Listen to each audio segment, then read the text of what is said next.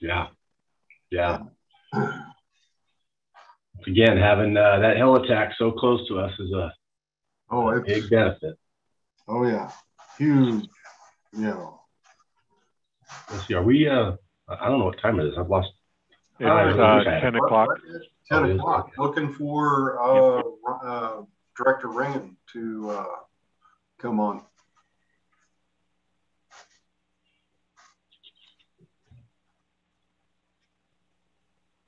Unless he's gotten, you know, meeting fatigue and, you know, forgot about this one on a Friday. So this is Corey. I'll be uh, moderating and watching. I'll just mute myself, stand up to the side if anybody needs anything. But uh, we are we are good and live at the moment. All right. Thank you, Corey. Don, would you like me to attempt to contact Director Ringen and see if he's having any issues? Sure, that would be great, Abby. Thank you.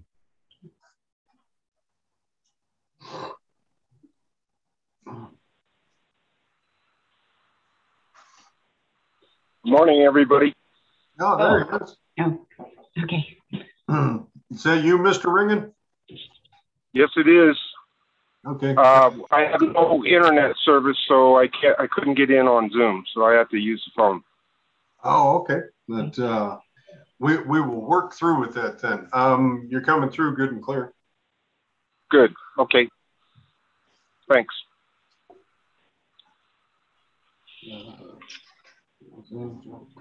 Password. Um, so um, I'd like to call the wastewater committee meeting to order. Um, both directors are here, uh, myself, David Boatwright, and uh, Mr. Ron Ringen.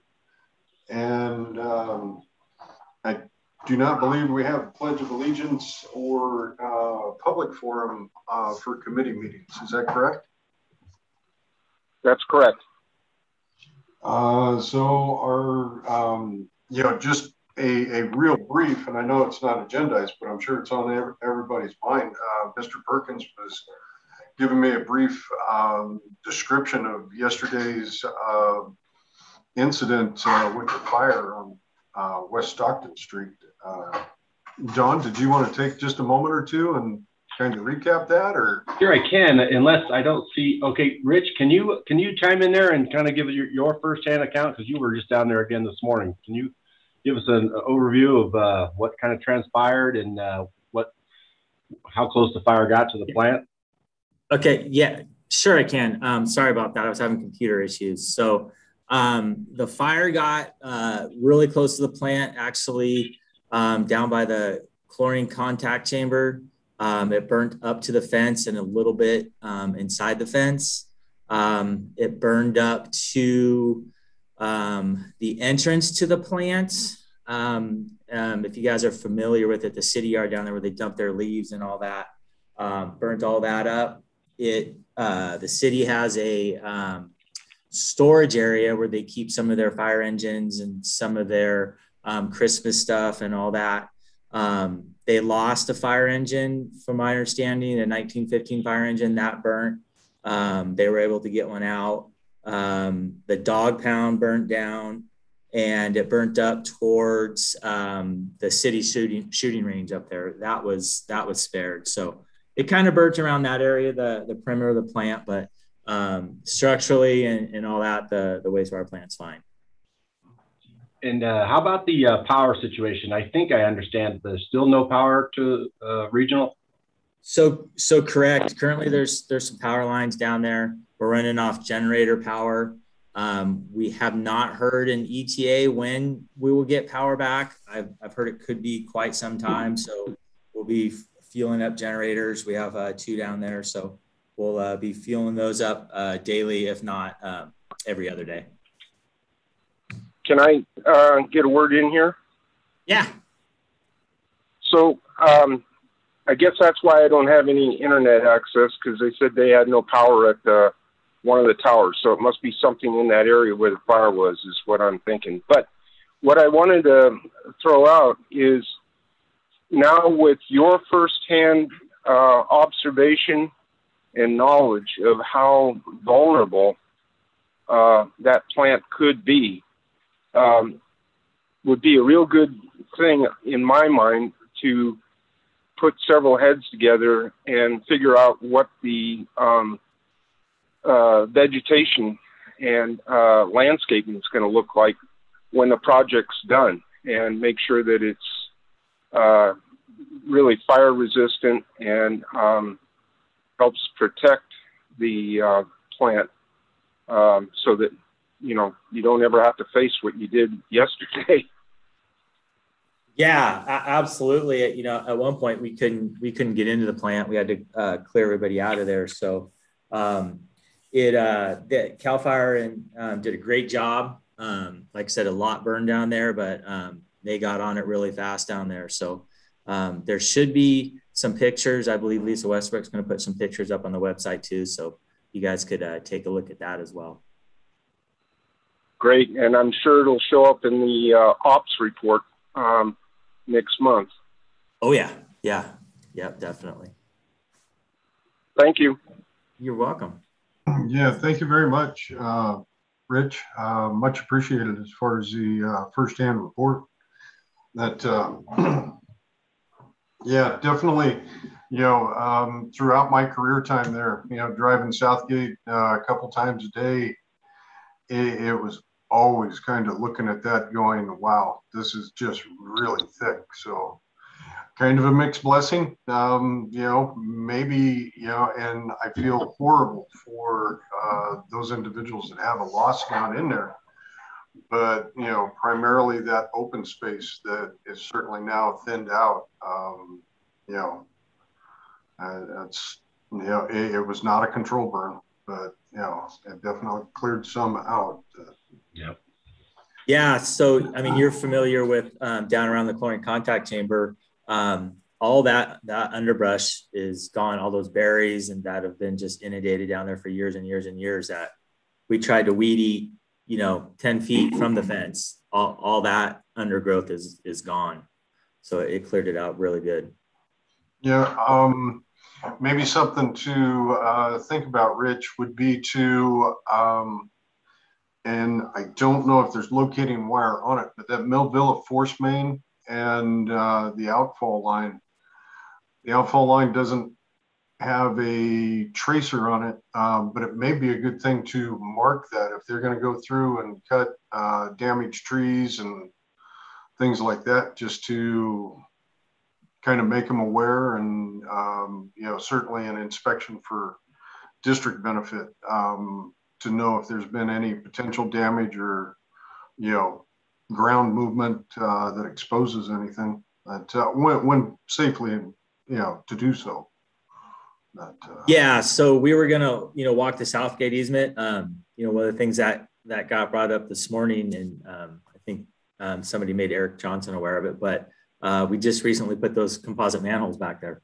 So we're going to take a jump back there and see how those uh, stood up to the to the fire. Yes. But um, the uh, as far as the outfall line um, and the the Millville force main, yeah, it's, it's on our list. We got some of those um, great um, plastic um, uh, utility markers like you see on the side of the roadways that say sewer line below and all that. We were going to go through there. They stand about six feet tall, so we're going to go through there and mark all that out too. But yeah, for sure. Yeah, yeah, very good. Sounds like you're very well on top of it. But uh, I, I, will ask you later how the uh, composites do on an intense fire. But, uh, yeah, I'm I'm really interested to see how they held up. Yeah. All right, thank you very much. Um, so um, we move on to the number one discussion item. Um, discussion regarding septic facility fees. Um, and I, you know, I've started running through a refresher in my mind as far as calculating BOD being out of touch for, uh, you know, for a bit of time of retirement. um, you know, but looking at the ops report and seeing that the number of loads at 209 and just over a half million gallons of septic waste being received at the facility for July. Um, Mr. Johnson, uh, would you would you like to take over, run some of the calculation, and um, certainly I can pitch in with the explanation of you know some of the constituents, but uh, I will turn it over to you. Okay, certainly. Yeah, I'm I'm happy to.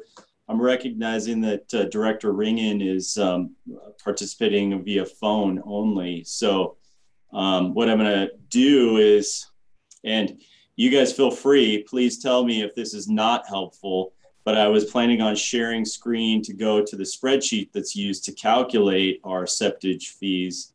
But we can get lost in the numbers, and, and since Director Ringen uh, isn't likely available to see this, uh, I'm going to try to articulate it verbally.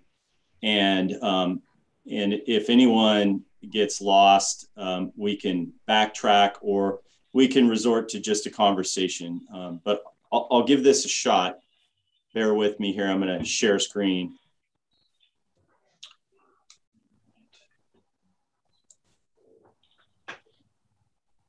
I have too many windows open, so just a moment. All right. Okay. Is everyone seeing a, a spreadsheet? Uh, yeah, could you enlarge it a little bit? Possibly? Yes, absolutely. Uh, let me move it over here. All right. Okay. Hopefully you're seeing something that says current sewer rate at the top. Okay, yes. Okay. So big picture here verbally um, is that our rate structure is intended to cover our annual O&M costs and also fund capital replacement. Um, and capital replacement is reflected in our CIP. Um, our O&M expenses are reflected in our annual operating budget. And um, we currently bill $51 a month per equivalent single family residence. This, this is related to septage, but that's what our charge is for um, our wastewater customers right now. So that $51 is supposed to cover annual O&M costs, uh, replacement of wearable parts and, and that type of thing. Plus, when something reaches the end of its useful life, uh, it funds that facility's replacement. Our intention here in this, the way we calculated our septage fee was to try to get it in terms of an equivalent single family residence.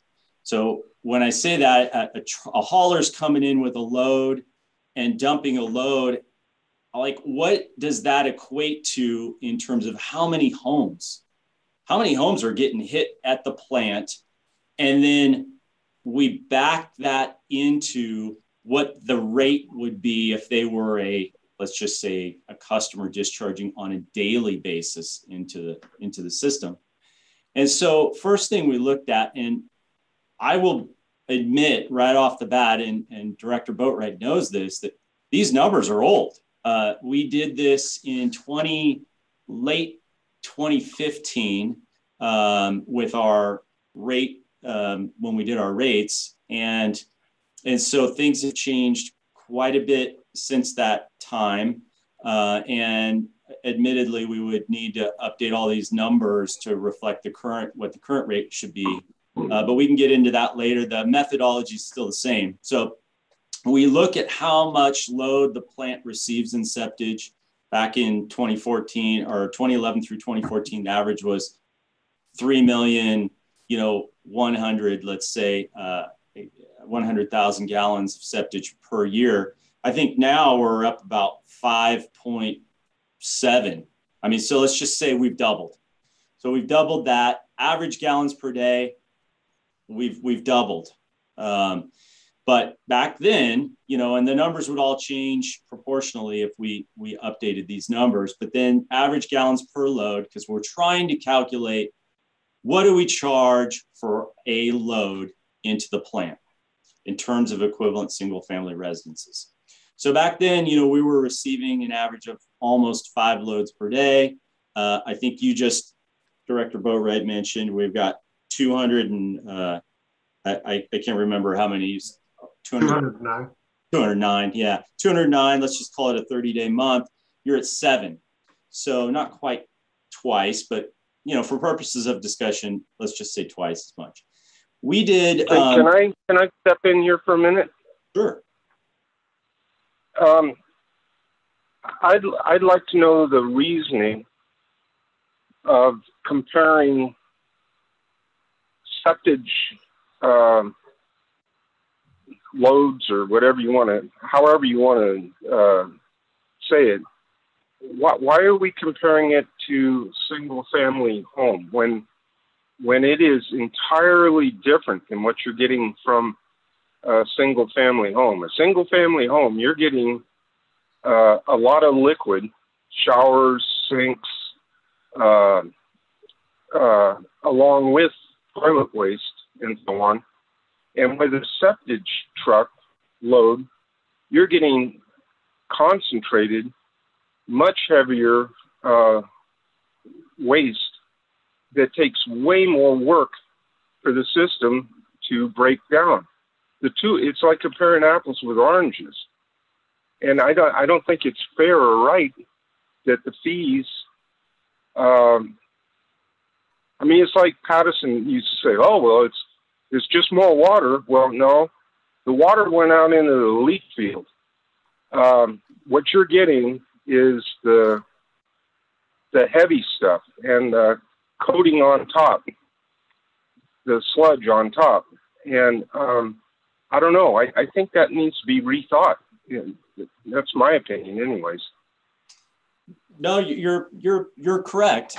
They are different. Um, the calculation goes through several iterations to uh, equate the two and takes into account the the biological oxygen demand and the total suspended solids load, and also the hydraulic load, which, like you said, is pretty pretty small. The other approach, which I think is justifiable, we just don't have the data, and Steve can certainly speak to this, is to look at really what does it cost to operate the septage receiving fa- facility in terms of how many man hours a day and all of those pieces of equipment, the maintenance on those, and then also what it means to the rest of the treatment process. Um, we don't track our uh, labor and our materials and our consumables, electricity and stuff separate for the septage receiving facility. So we have an expense uh, ledger, if you will, that is related to the whole treatment plant. Now, Steve could, Steve's hands up, so maybe he can elaborate.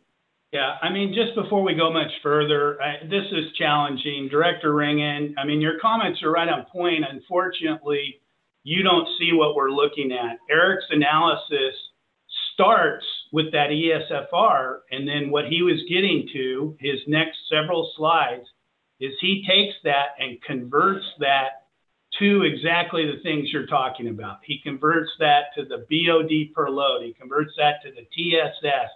He's doing everything you just said. So in his his analysis that he was starting to walk through, and it's very difficult not seeing the screen.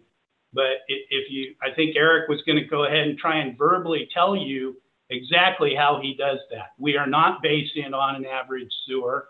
He is basing it on the actual septage, the tested septage, and that's how we get there. But then again, as far as equating costs to it, that becomes more challenging. Even when you know Director Boatwright was there and the whole bit, we'd say, well, it's so many hours per day, but then the trash comes in during the fair, and then it does this and that and the other. But again, for purposes of this discussion as to how we came up with our septage rates, again, Eric can continue to explain how he converts those to just what you mentioned, Director Ringen, or or whatever we're attempting to answer here. But hopefully that provides some context because you're correct, Director Ringen, but Eric has already done exactly what you're talking about. So I think he's just not gotten there yet. Bear with us.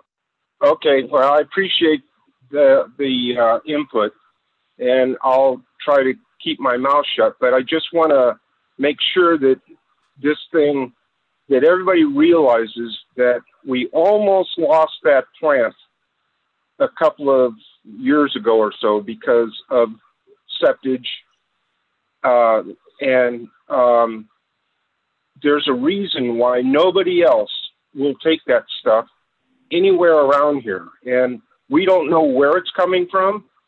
Um, we don't know what's in the load, but we it, we take it and we do the best we can to treat it. And to me, it puts us be, really between a rock and a hard place because we just don't know what it is. And so I won't say anything more. I'll just listen. But I, hope everybody understands that this is dead serious. I mean, why why doesn't other um, sewer districts take it anywhere close around here? We're the only ones. Uh, Mr. Ringen, I, I totally agree with the uh, statements that you were just commenting on. And I also agree with uh, Mr. Sheffield. Um, looking at and you know following through with uh, Mr. Johnson's explanation of you know how we do this. If you'll bear with us for just a moment or two longer, um, I think think we'll get into that. Definitely. All right. Thank you. All right. Well, um, yeah, this is an imperfect um, rate analysis. I mean, there's always improvements can be made, and and uh, the garbage and the debris and stuff it probably isn't captured. It's a it's another expense that that isn't probably reflected in here. But I'm going to jump. I'm going to try to go through really quick because it gets really boring, mm-hmm. honestly, to get into these numbers. Um, and Director Boatwright, if you want to stop and dig in because you understand um, these things very well, I'm happy to go into more detail. But basically, we took um, some samples from loads, grab samples, minded, um, over a period of time. Uh, and, and, David was involved in this, and, and I have this data offline here, but we determined that the average BOD in a load, which is the biological oxygen demand, was somewhere around 3,000 milligrams per liter. And the total suspended solids was approaching 20,000 milligrams per liter. Now, compare that with the strength of our typical influent to the plant uh, from domestic wastewater. And you'll see uh, that, you know, average residential BOD, maybe around 250, uh, average residential TSS into the plant, maybe around 400. These numbers have changed a little bit, but for purposes of discussion, what we can say is when a load comes into the plant, it's like dumping six, the equivalent flow of about 54 homes at one time and the equivalent BOD of about 625 homes in one day and the equivalent of dumping like 2,500 TSS, total suspended solids loads, um, in one day.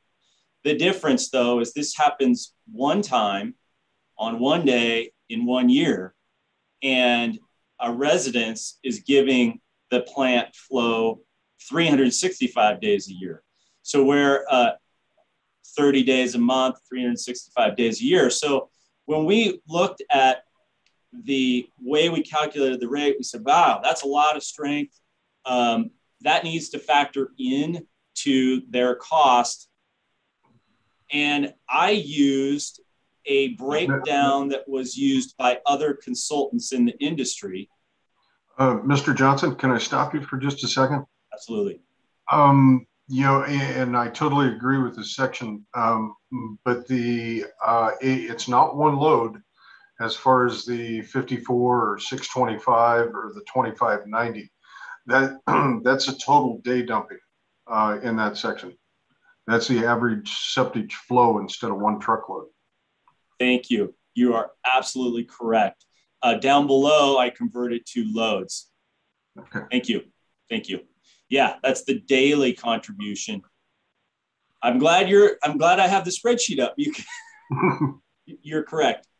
Um, so this strength, which is reflected in BOD and TSS, has to enter into our rate or our fee. I should say, I should be calling it a fee, not a rate. And we used a breakdown of 60% of the fee would be associated with the strength in BOD and TSS, and 40% of our fee would be related to the actual flow. I don't know if this is a great breakdown. I mean, to me, I think my gut tells me that the strength to be should be even a greater than 60% of the fee and the flow should be less.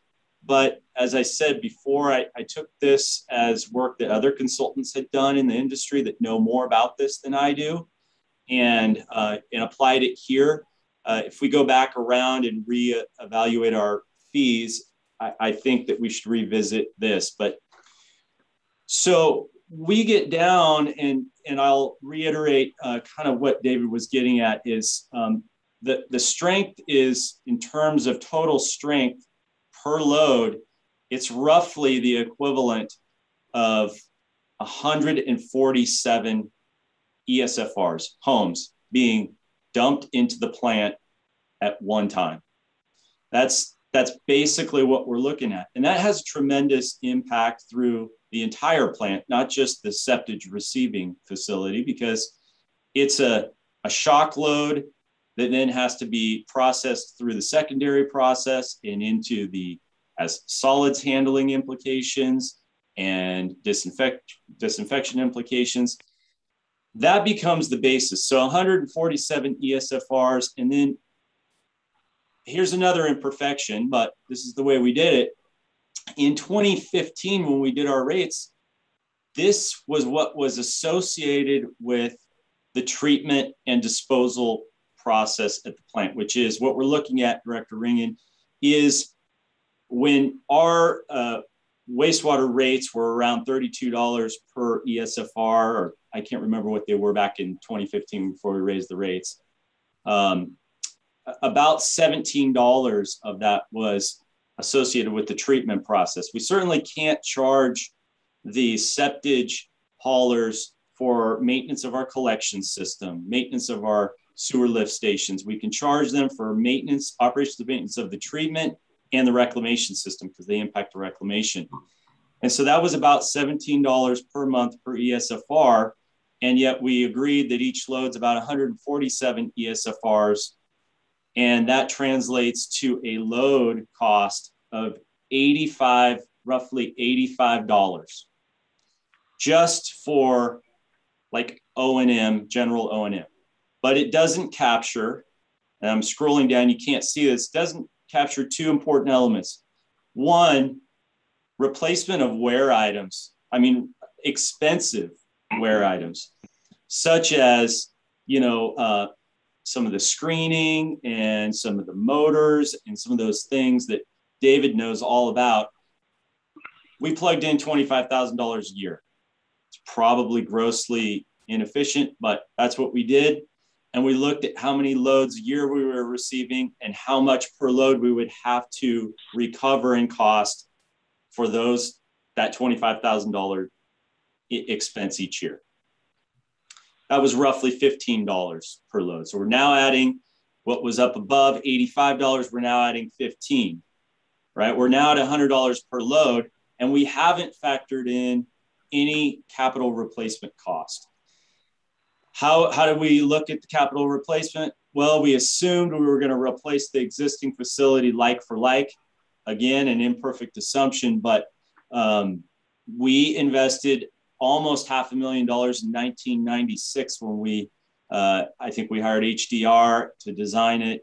And I wasn't here, uh, but uh, the, a lot of work was done that formed the basis for our current septage receiving facility.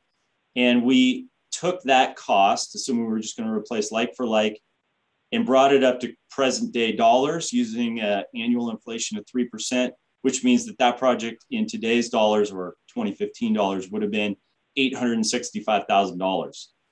Um, and then that $865,000 has to be recovered over the life of the facility. So we used 40 years. You could say, well, we haven't collected enough um, since 1996 when it was built, and it only has, let's just say it only has 10 more years of useful life. We're going to have to accelerate our, our recovery.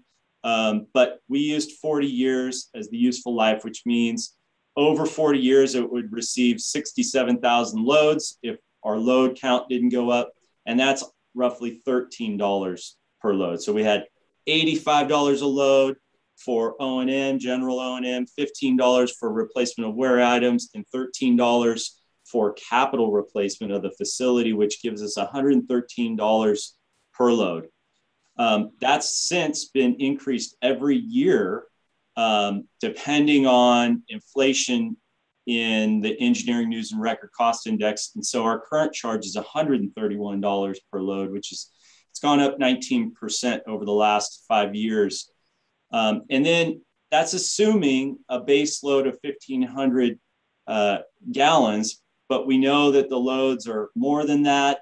And uh, so there's also a charge per gallon above 1,500 because we have to have some limit. I mean, somebody can't come in and dump, you know, 15,000 gallons into the plant and just pay the same base load charge. Um, and that was captured uh, up above in our spreadsheet, which you can't see. Um, it amounts to 10%, 10 cents per gallon above 1,500 gallons. And so that's really how we came up with our, um, our current charges. I think they are low. Uh, they're low if we look across the marketplace at what other places charge. They're low because I believe there's, well, one, less uh, useful life left in the facility as we know we're going to replace it.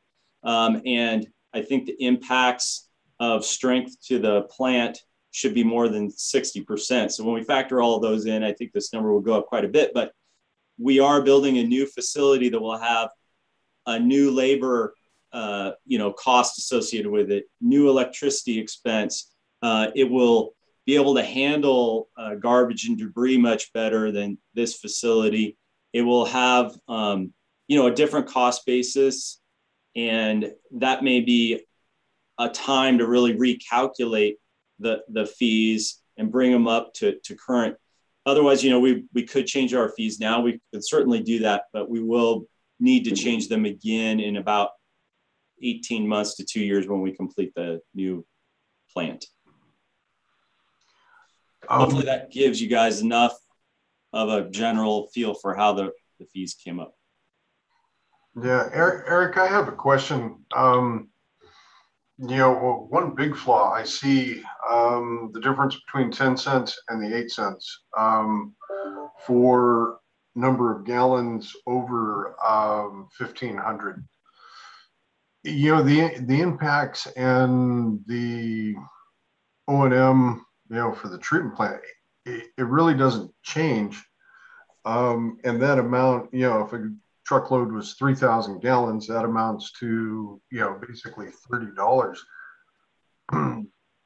I, I can say that I really don't agree with a, you know, discount on, on the quantity there. Um, it, it, almost should be the same um, price all the way through a truck that may have been, you know, kind of insignificant when the truck size, um, you know, in the 90s and up through you know maybe 2004 uh, the truck sizes or load size that we were dealing with you know the trucks were only 15 to 1800 gallons as far as size i would say the majority of the trucks out there now are 28 to 3300 gallons in size um, you know that, that that should definitely be looked at um, you know, and I'll wait for uh, Mr. Sheffield to, you know, maybe, you know, give us some insight as to our our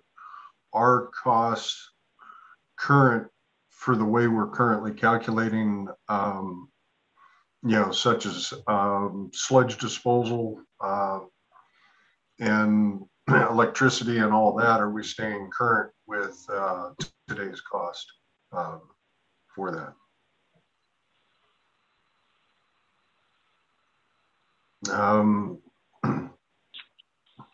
um, you know, David, I will say, uh, I totally agree. Totally agree. There is, I, I agree. There's a flaw there.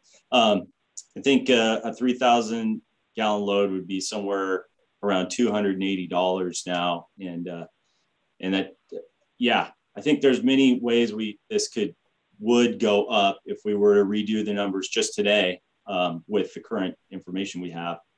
but Steve probably can address the financial question you had. Yeah, I mean, it, as far as your finance director and looking at this, clearly I, I'm I'm not an operator. I'm not wastewater knowledgeable like you are, David. Um, I'm not an engineer. I remember back in 2014, uh, we went through this capacity fee for water. Uh, 2000, you know, 14, I believe uh, Eric did this this charge analysis for capacity fees for sewer those, those kind of calculations should be updated probably every five years. Um, just like our basic sewer and water rates uh, need to be updated. Now, one of the big things we've been talking about is we're building a brand new plant. And so, you know, some of Director Ringen's concerns from from this old finance director, it's kind of a matter of, you know, first and foremost, are, are, are we serving this much septage right now? You know, does us having whatever the total was, Eric, five, what was it, 5.7 million? Um, you know, is, is, that, is our system right now able to keep that? That would be my biggest concerns. If we can't take that, then we need to reduce the amount of sewage. Now, if the matter is, hey, we're building a brand new sewer plant, I've asked a couple times, will this brand new sewer plant be able to handle this much sewer plus more? Everybody's told me, absolutely, it'll do more. So, does charging more of our existing rates help us out if we have too much sewer? I don't think so. Um, and, and again, the basic premise we operate in, all fees we, we charge people should be based on the cost to operate. And, and I think Eric's done that. Now, this question of 1,500 gallons per load or take it up to 3,000 gallons or whatever, I think that's a good point and needs to be looked at. But for me, it's a real timing issue. You know, if this plant's going to be a reality in two years, 18 months to two years, boy, that's a whole new world. Once we get it going and we're doing this, then then great. You know, we can figure out the cost and do that. The real challenge right now is is how do you separate you know, a, a, regular home and collection and everything else goes from specifically the operation of the septic. I, you know, my recommendation is that we get this new plant in place and then we do a complete analysis of septic costs and everything else. Now, some of the other suggestions or concerns that, that Director Ringen brought up and others have in there is that it's my understanding that some of our neighboring counties, they made a decision. We just don't want septic, period. Whether anybody takes it or not, you can drive to the Bay Area, you can drive somewhere else. Well, certainly this board could say the same thing. Do we want to keep doing septic? If we have a brand new facility that can take septic, do we want to take septic? Sure, we'll keep doing it. If you don't, tell us and, and we won't build that, won't have that part of it. Then you say, well, do we want to service anybody outside our area? If we can take in additional gallonage, you know, the person who brings in the Calaveras uh, septage is a local business owner. They're the same ones. It's the same business, the same hauler that's here in Tuolumne County as there. And so, do we want to service them? If we don't want to service them, I mean, they're clearly contributing to the revenue that goes into our septage system. So, you know, I think I think the board needs to look at what's the goals and objectives here. Do we want to reduce the amount of septage we're treating? Do we want to treat it more effectively? Do we, you know, are we recovering costs? I don't think we have the ability just to say we want a bigger profit on here because we're not a profit entity. And I don't think we can distinguish that uh, septage coming from outside is any costlier to process or do than any septage in county. Um, but again, that's just my finance observations. But back to what you said, Director Boatwright, you know, the, the cost of wastewater has gone up like uh, all other costs.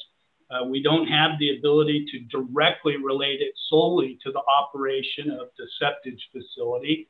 But I think, uh, you know, we do know how much revenue we're bringing in. Um, we do know uh, the sewer costs. The board recently adopted the budget for the sewer for the next year. And we do know we're going to build a plant. And that plant in, includes a rather robust improvement to the whole septic uh, situation. So I'd be happy to answer any questions or provide further information. Yeah, I totally agree with you, Steve. Um, I, I, don't think our concerns for the septic receiving faci- uh, facility, um, they're not based in a, you know, going after a profit. Um, it's more of wanting to be assured that the normal collection system, uh, the single ESFR in our collection system is, not subsidizing um, our operation of uh, receiving septic waste from um, you know on-site sewer disposal systems. Um, with that being said, um, certainly, you know, as a new treatment plant comes online, and I would like certainly like us to take a look at, you know, um, through our engineering company for the new plant, as to the cost of you know, treating BOD in the new system. It, it will be radically different than uh, our current treatment system. Um, and we will be cleaning water to a higher standard. And, you know, there, there will be a substantial increase in, you know, O&M, um, you know, as far as power and some of these other things. Um, Mr. Ringen, do you have a, um, any other questions? I, I know you're definitely challenged uh, with not being able to see the graphics that you know the spreadsheet we were just looking at. Yeah, but I think that uh, between um, Eric and Steve Sheffield, I'm um, and your comments too, I, I I have a pretty clear picture. That the one thing that irks me, and I'll just be straight up about this, is that with everything that's been said, yes, we're building a new uh, treatment plant. Yes, it's going to be able to uh, be way better uh, in many, many ways, especially with the uh, for the septic haulers and so on. But it was born on the backs of the TUD sewer ratepayers. I mean, we're, we're talking 40 million some odd dollars, and I have uh, Steve Sheffield has a figure there right in front of him, I'm sure, of what TUD's portion of it was. And what, what irks me is that Calaveras County somehow Patterson let them off the hook. They should have been involved in the septage portion of that because that's where a lot of the trucks come from. And I'm not against, or do I want to hurt the septage haulers business because it's vital to the real estate trade and also the health and safety of our communities. But I, I just don't think it's right for the TUD ratepayer to take it in the neck totally in order to do this. I, I just, to me, it, and that's why I think there should be a separate charge for septage that comes from Tuolumne County because that's who we serve. And if it comes from a whole different Yeah. Uh, Mr. Ringen, we, we lost you a little bit there at the end. Yeah. Well, I'm sorry. I, I knew this was going to be difficult. I guess I'll just tag on to, to Director Ringen's uh, question for the benefit of the group you know, we, we don't have a mechanism to exactly know how much is in county or out of county, but over the past 10 years, I've tried to collect as much data as possible. And, and our current estimate is that 30% of the septage comes uh, from out of county. But like I said, it, it is a, a hauler that is in county, comes from out of county. And, you know, that the, the calculation that Eric showed is our way to have them contribute to the cost of this. And I understand what he's saying. There was talk at one time about forming a JPA uh, with Calaveras or other agencies for the septic hauling, but you know, quite frankly, there it's like everything else we do. All the governmental agencies have same problems, and they didn't want any part of it. You know, the the the question could be that well, we just won't do it at all and let it go somewhere else. But you know, we approached other agencies. Uh, we tried that. Uh, there was so little response, and we didn't want to hold up the regional plant uh, on this. But you know, that's that's the reality. Is I'd love to have these other agencies involved, but they don't have to. We can't make them legally. Um, and if they don't want to form it, and we had to proceed, and we found a way to do it without increasing rates to our ratepayers, uh, they will to continue to do that. But you know, the board could certainly entertain the idea of just saying, you know what, Calaveras, you don't want to participate. We're not going to take your stuff anymore. I mean, that's certainly an option in here, but then I don't know how would we be able to enforce that and go forward. Um, and, and again, I don't know how we could support a direct charge just because they are out of county. That would take some uh, research with the legal side of that. You know, the basic premise we operate on under our California Water Code is that what we charge uh, has to be the same if the costs are the same. So generally, if you have a different class of citizen or a different residency for this type of fee, uh, there really isn't a cost differential. So uh, I, I, hear you, Director Ringen, loud and clear. I, I would have liked us to have a JPA for this facility, but you know, it just wasn't going to pan out. And we wanted to take advantage of the USDA opportunity to bring this treatment plant to this community. So my thoughts, hope that that helps to the conversation and understanding. Thank you, Steve. If you if you don't mind, I'd like to uh, chime in here too. Uh, you know, Eric Johnson, you know, I've seen you uh, uh go through this spreadsheet many times over the years, and each and every time I'm, I'm very uh, impressed and thankful that you took the time to do just that. It's, I guess it's it can be really easy to, you know, five years or six years down the road, maybe poke holes in it and maybe not, but know, that can, the same can be said in just about everything we do. We, you know, we try to build a better mousetrap each and every time we, we go through uh, these sorts of things. So, um, I, what I'm most interested in in this uh, process is uh, is uh, just kind of awareness of where we were in the 90s when we first brought on this facility, this this septic uh, facility, uh, and and where we've been and, and where we're at now. So I think I heard you guys talk that uh, in this last month we had 209 loads of septic facility. Uh, sept- is that about right? 209? Is that what I heard? Uh, I just, that, that's what the operations report says. Yeah. So I just quickly went back to 2016. That's as far back as my operation reports go. And and at that month it was 144 loads. And I remember talking and looking back in time how that was a dramatic increase from say five years before that. So the, the number of loads and the, the number of gallons being received is definitely going up. And I don't know where, if when it's going to peak. Um, that facility just, in my estimation, David, you were here for this, but in my estimation, the facility that was that was designed and constructed and built there, I don't think was intended to receive this amount of loads per day.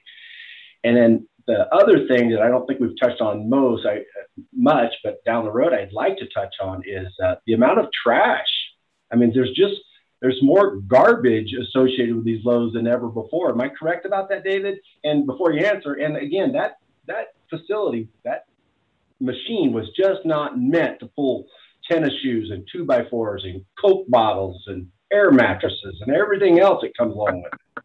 Yeah. Um, you know, certainly the, the there are different, you know, human waste facilities uh, that are addressed through the uh, septic hauling uh, companies. Certainly, if you look at our forest uh, pit toilets, um, they're they're wide open. You know, uh, they're basically just a vault, holds for a period of time. Um, certainly, there are, you know, the immediate need for uh, temporary porta potties uh, facilities. Uh, certainly, when we get in the area, a you know uh, base camp for a forest fire or wildland fire, you know, we get companies that literally call us and say, hey, you know, over the next three weeks or so, I'm going to need to be hauling 30,000 gallons a day. the loads kind of vary a little bit.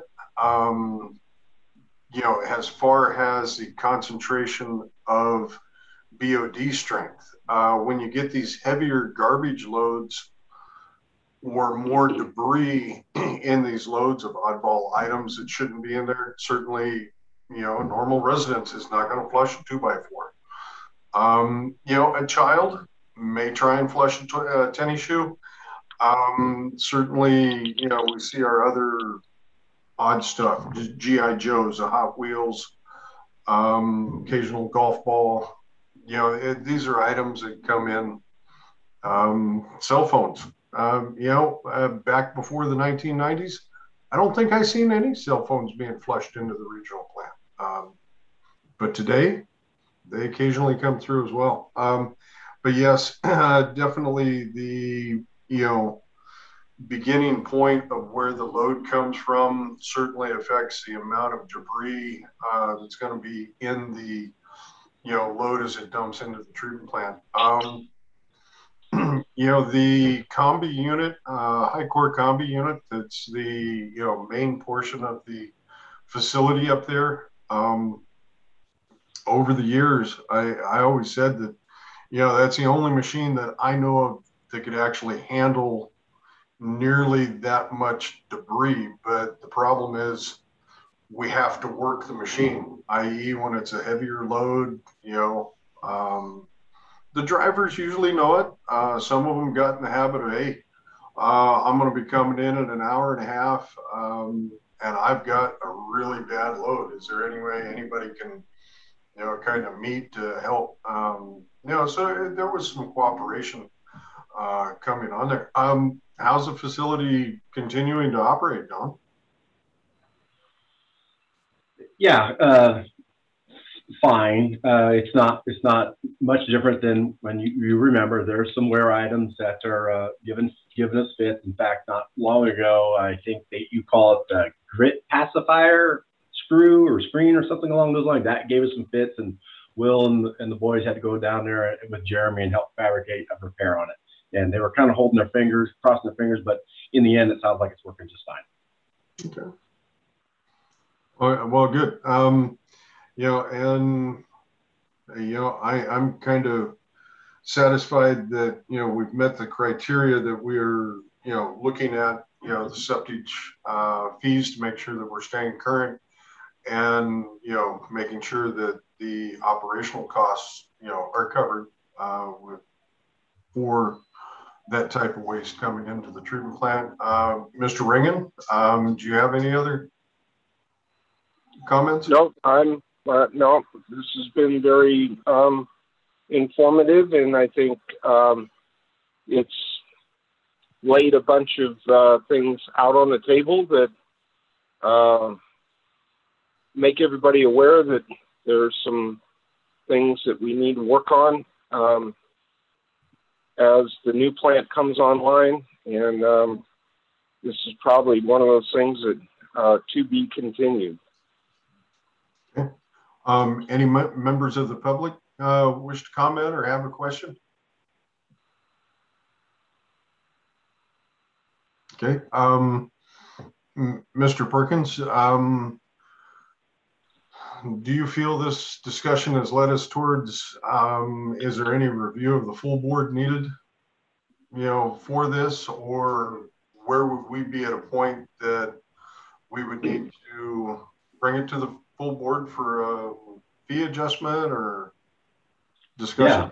Yeah, yeah I think, uh, I think the way I feel understand is I think you definitely you should, uh, uh, update the board on this meeting and on, on this topic. But as far as I think I understand is uh, internally, uh, we can work on what what some new fees might look like, you know, once the new treatment plant comes online, uh, so that we have something developed soon thereafter. Does that sound about right? Which is two years away or so? Know, um, I would certainly think it's worth a bit of time to scrutinize the fees and make sure that all our costs are current. Um, and then if there's a differential in our current fees versus what the facility is costing us to operate, um, certainly that, that would be worthwhile bringing to the full board. And, you know, I will go through and uh, talk uh, with the other board members at our next uh, meeting as far as opening up. Great, thank you. I agree with you, David. That's what we'll do. Appreciate it. Um, very good. Um, and, uh, next item. Uh, I think this is pretty exciting. Um, massive project to build an entirely new sanitary sewer treatment plant. Um, I'm excited to, you know, see, you know, how this project contributes. And, you know, I, I feel it deserves a little bit of pomp and circumstance as far as a groundbreaking. Uh, what would be the time frame uh, that we'd be looking at? Um, that the construction first day or just prior to that could start? Yeah, I think coincidentally, uh, Eric Johnson was thinking the same thing. I think he has some ideas on a, a, an appropriate date. I'm super excited as well. It's uh, yeah, we've done uh, ceremonies for much smaller projects for much less. That's for sure. So I, am glad you brought this up. This is spot on. I think we should do something, and um, the contractor, I'm sure, is 100% on board uh, with that.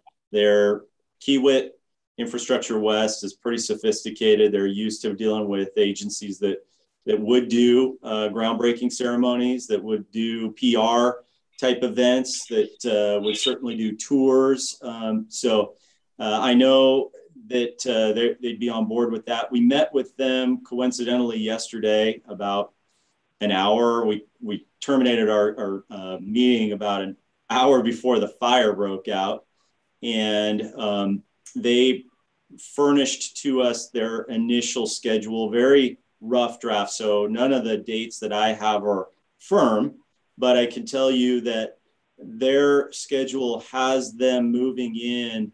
Um, looking at it right now, mobilizing equipment on the 27th of September. So uh, about a month from now. Um, so that third, fourth week in December, in September, uh, we'll start seeing some activity down there. And, and then they have, right after they mobilize some equipment, they're going to be grading and putting their office uh, in and um, getting temporary fencing up and getting themselves situated uh, there on site. And so it might make sense to do some type of groundbreaking while technically there would be some earthwork done before to, to grade and level out areas for their uh, trailers, um, it might make sense to do it after they have their offices on site because they usually put up signs. Um, USDA will probably want a sign too. I haven't just popped into my mind, you know, that they're a big funding uh, partner in this. And uh, that would be a good photo op kind of place uh, when we do the, the groundbreaking.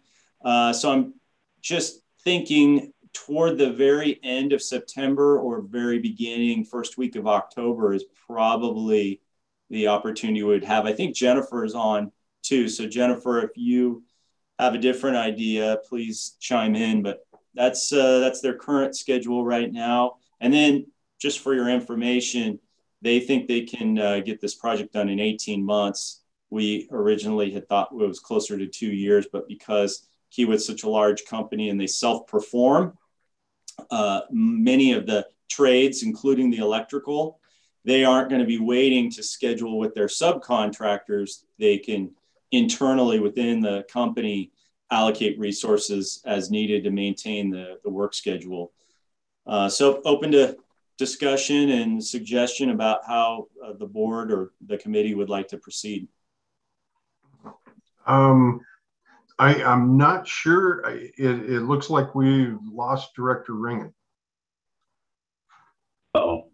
That's correct. It looks like he has dropped off. Oh, bummer. um, it, sounds great. Um, and, and, certainly, you know, even in the few days following, uh, as a you know, large equipment and different things moving in, I totally agree with you, Mr. Johnson. That uh, to have our signs up and our uh, funding sources noted and all that. oh, um, Mr. Ringen, are, are you back with us? It does look like he's on. Yes. Uh, Director Ringen, can you hear us? Yes. I'm here. I gotta love cell phones. Um, yeah, uh, um, Mr. Johnson was just touching on uh, it was looking towards the end of September. Did you catch that portion of conversation? Yeah, I did. Okay. Um, It sounds good. all right. Um, very good. Um, definitely, Mr. Perkins, um, I, I think you have the full direction of the committee for, we would like to see a groundbreaking ceremony for this project. Exactly. So I got a silly question, I think. Do you, do you want the big giant scissors and red ribbon or do you want uh, five golden shovels? What do you want? Something like that. Um, you know, I, I think it's the five golden shovels for the start. The ribbon cutting or the valve opening come comes at the uh, at the other 18 months. Got yeah, it. months later. You got it. Looking forward to it. Yeah, that, that'll you know two very exciting days for this project. But, uh, Maybe I can get to uh, Terry Hyler to come back and uh, make some golden shovels for us. He'd love to do that. Thank you. all right, sounds good. Um, any other uh, comments or questions on that?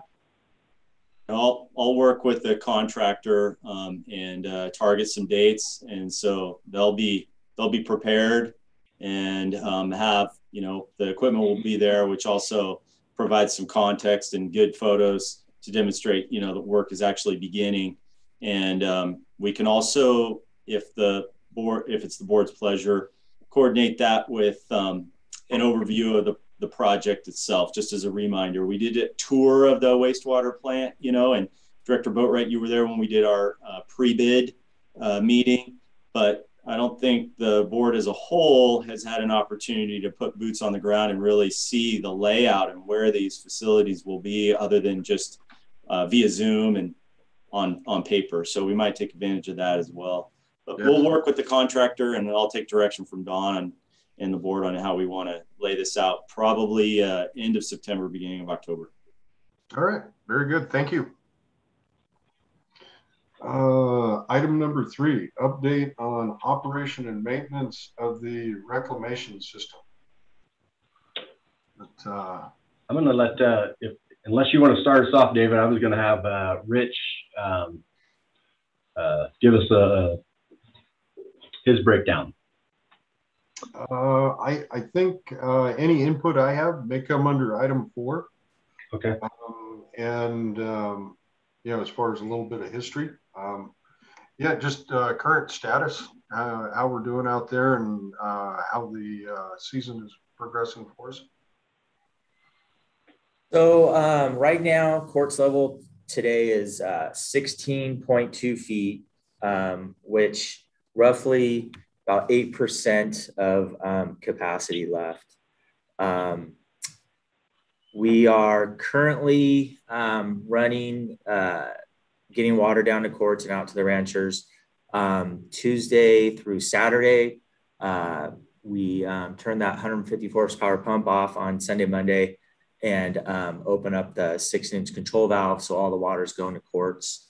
Um, so the lower zone and the upper zones both will not be watering um, those two days.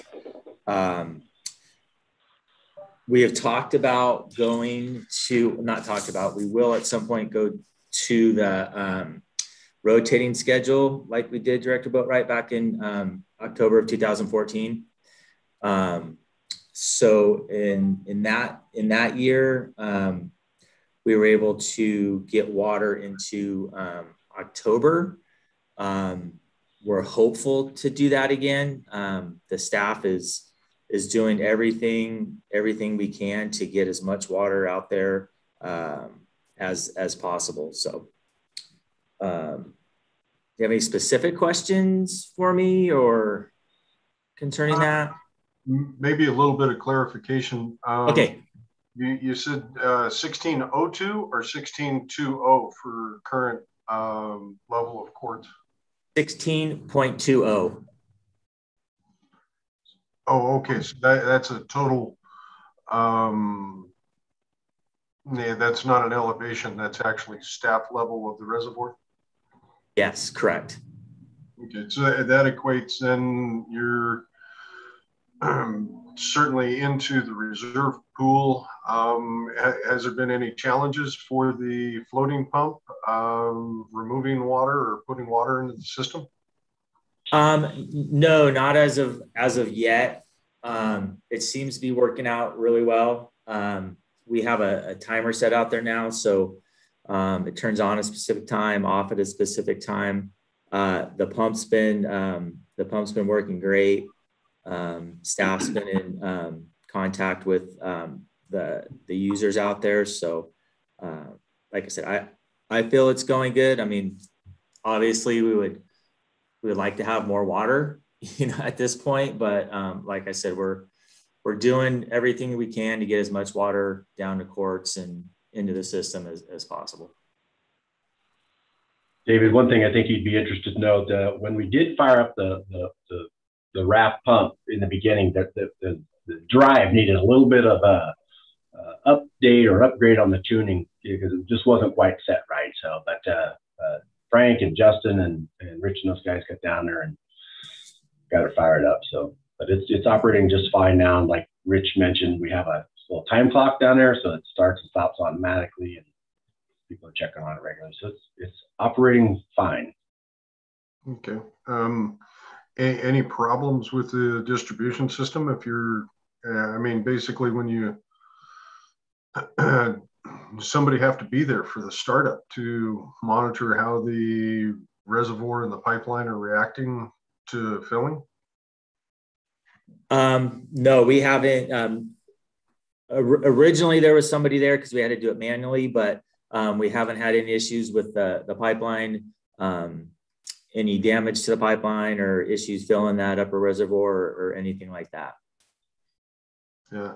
You know, another thing that, that did happen, David, you want to know when we first fired it up, I wasn't down there, obviously, but I, rem- I remember hearing that the, uh, the screen around the, the outlet, the, the cage, uh, it, uh, it, it was compromised. So I had to stop operation and, uh, Gadiel and, uh, and, and Will and those guys fabricated a new one and it's working just fine.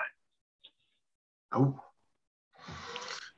We yeah. have a uh, person on the line, Donnie. Um, it, it's actually Nathan Rosasco. Oh. Can you hear me? Yeah. Uh, good morning, Nathan. Go ahead. How are we doing, John?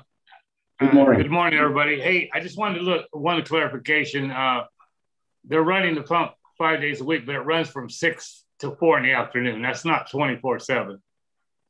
Okay, because that's a bit that's a large difference. That's ten hours a day compared to it. it makes it sound like you guys are running it for five full days. You're not. You're running it from six in the morning till four in the afternoon. And one of the problems I've ran into is because you guys have no check valves on your main valves. I have a valve one, one of my, and David, you helped me work on it. One of my old check valves has been stuck open. So if I'm not here to shut one of my valves down, my water's going back to John Gardella. It's back flowing through the system.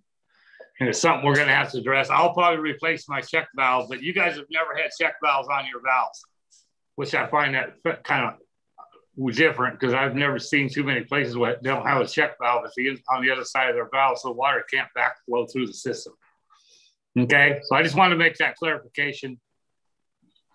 Thank you, thank you, Nathan. Yeah, thanks for clearing that up. Yeah, I think we skimmed right over the fact that we're only running uh, 6 a.m. to 4 p.m. But that was the, the, reason for that time clock. Uh, yeah, and I also understand we have some uh, distribution problems out there, like this check valves uh, and uh, we have a plan in place, uh, you know, after the season is over, we'll get a crew down there and work on these, these the, the distribution system and the valves and check valves and such.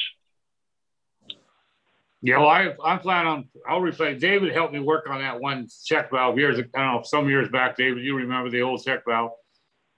And so it, it evidently sticking open again. So it's it's just that I have to be there. When the pump goes down, I have to be there to shut that one valve off. My other valve I can leave open, but that one there, because I, I happened to catch it one day uh, overnight and I lost about two acre feet of water back through the system. Okay. So that was my point that I wanted to make. I appreciate it. Thank you, Nathan. We appreciate it too.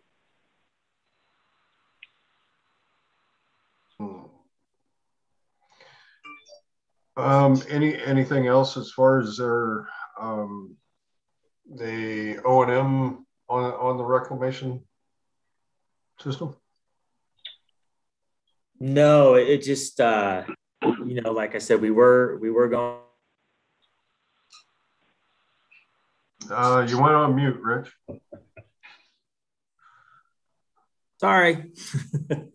um, yeah, so not too much O&M out there that that I that I'm aware of. Um, we had to uh, we spent a day out there um, at Gardella's at that that pump out there. Um, had a check valve out there that went bad. Um, so the guys were out there, like I said, for about a day working on that. Um, we were going down there about an hour a day, uh, turning on that pump, turn it off. So that timer's helped out a lot, saved a, an hour a day, which you know doesn't seem like a big deal, but it adds up, and then um, that enables us to spend more time doing other other O&M in other areas. Um, you know, um, my only you know word of caution or uh, kind of looking at it, uh, certainly the air entrapment uh, or entrainment um, as you shut off. Uh, certainly the air relief valves would need to be gone through to make sure that they're all operating throughout that lower zone. Um, otherwise, you, you could definitely run into some problems. Yeah. But, uh, Good point. Thank you. Thank you, David. We'll uh, we'll jot that down and make sure that's part of our our SOPs. Yeah. In some way. Um, Mr. Ringen, do you have any comments or questions? Uh, actually, I do. Um, just one, um, and that is how is Jamestown Sanitary Sewer uh, District contributing to? I mean, with Quartz being below, are is are they um, me, uh, Mr. Johnson, do you want me to take that? um, Mr. Ringen, the uh, Jamestown Sanitary Treatment Plant um, actually contributes directly to Quartz Reservoir. Um, so there wouldn't be any, um, you know, operational changes or ways to change that. So it sounds as if that's going to Quartz storage, um, you know, or continuing to Quartz storage 724. Okay, well, I mean that's a good thing, and that that's what I was hoping to hear is that um, you know with their new treatment plant and all that that it's uh, business as usual, so to speak. But um, uh, it's very concerning to see that uh, quartz is this low, and um, um, it is what it is. I mean, we're all in a drought. We're all getting dried up, and it's throughout the entire system, and it's unfortunate, but that's the way it is. Yeah. Um, Mr. Perkins, is the Jamestown Sanitary District online with their new treatment plant now? They are. Um, boy, I forget the exact start date, but I bet it's been a couple of months now.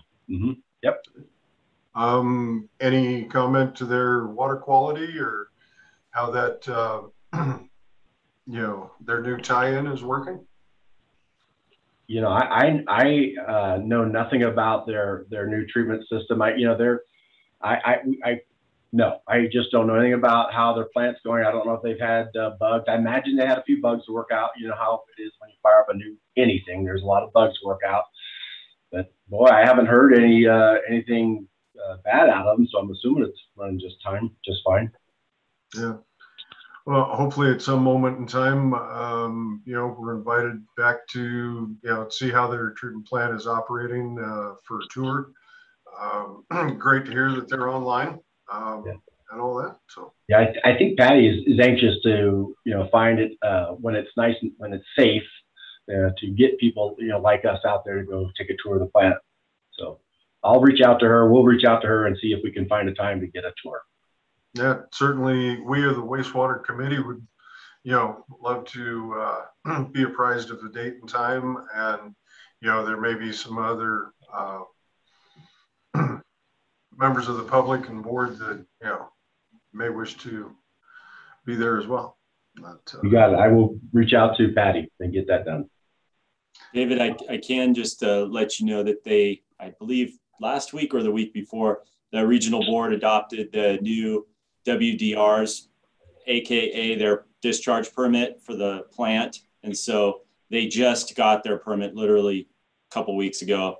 And then their Title 22 report is um, being reviewed and I think very close to being accepted. So they'll be able to operate their tertiary. They have a, a small portion of their plant that will produce a tertiary effluent that people could go up and you know they'll have a filling station. Hmm. Um, and they're still waiting on that Title 22 report approval before they can make that water available to the public. But I don't know, to your question, how what the water quality is like uh, at the plant. Um, I think we have a meeting with Patty uh, in well, I think next week. So I'll I'll ask her how that's going. Uh, yeah, very good. Um, any members of the public uh, wish to comment on the operations maintenance of the reclamation system? Not that I'm seeing now. All right. All right. Item number four. Um, you know, th this one comes fully charged um, with emotions and and all that as well too. Um, discussion regarding development of a policy for augmenting reclamation water supply. Um, so I think Mr. Ringen and myself, uh, we had a telephone call um, just between the two of us. And, you know, where we both decided we were at is, is we have no knowledge of, you know, how you start to develop a policy. Um, and how that goes along.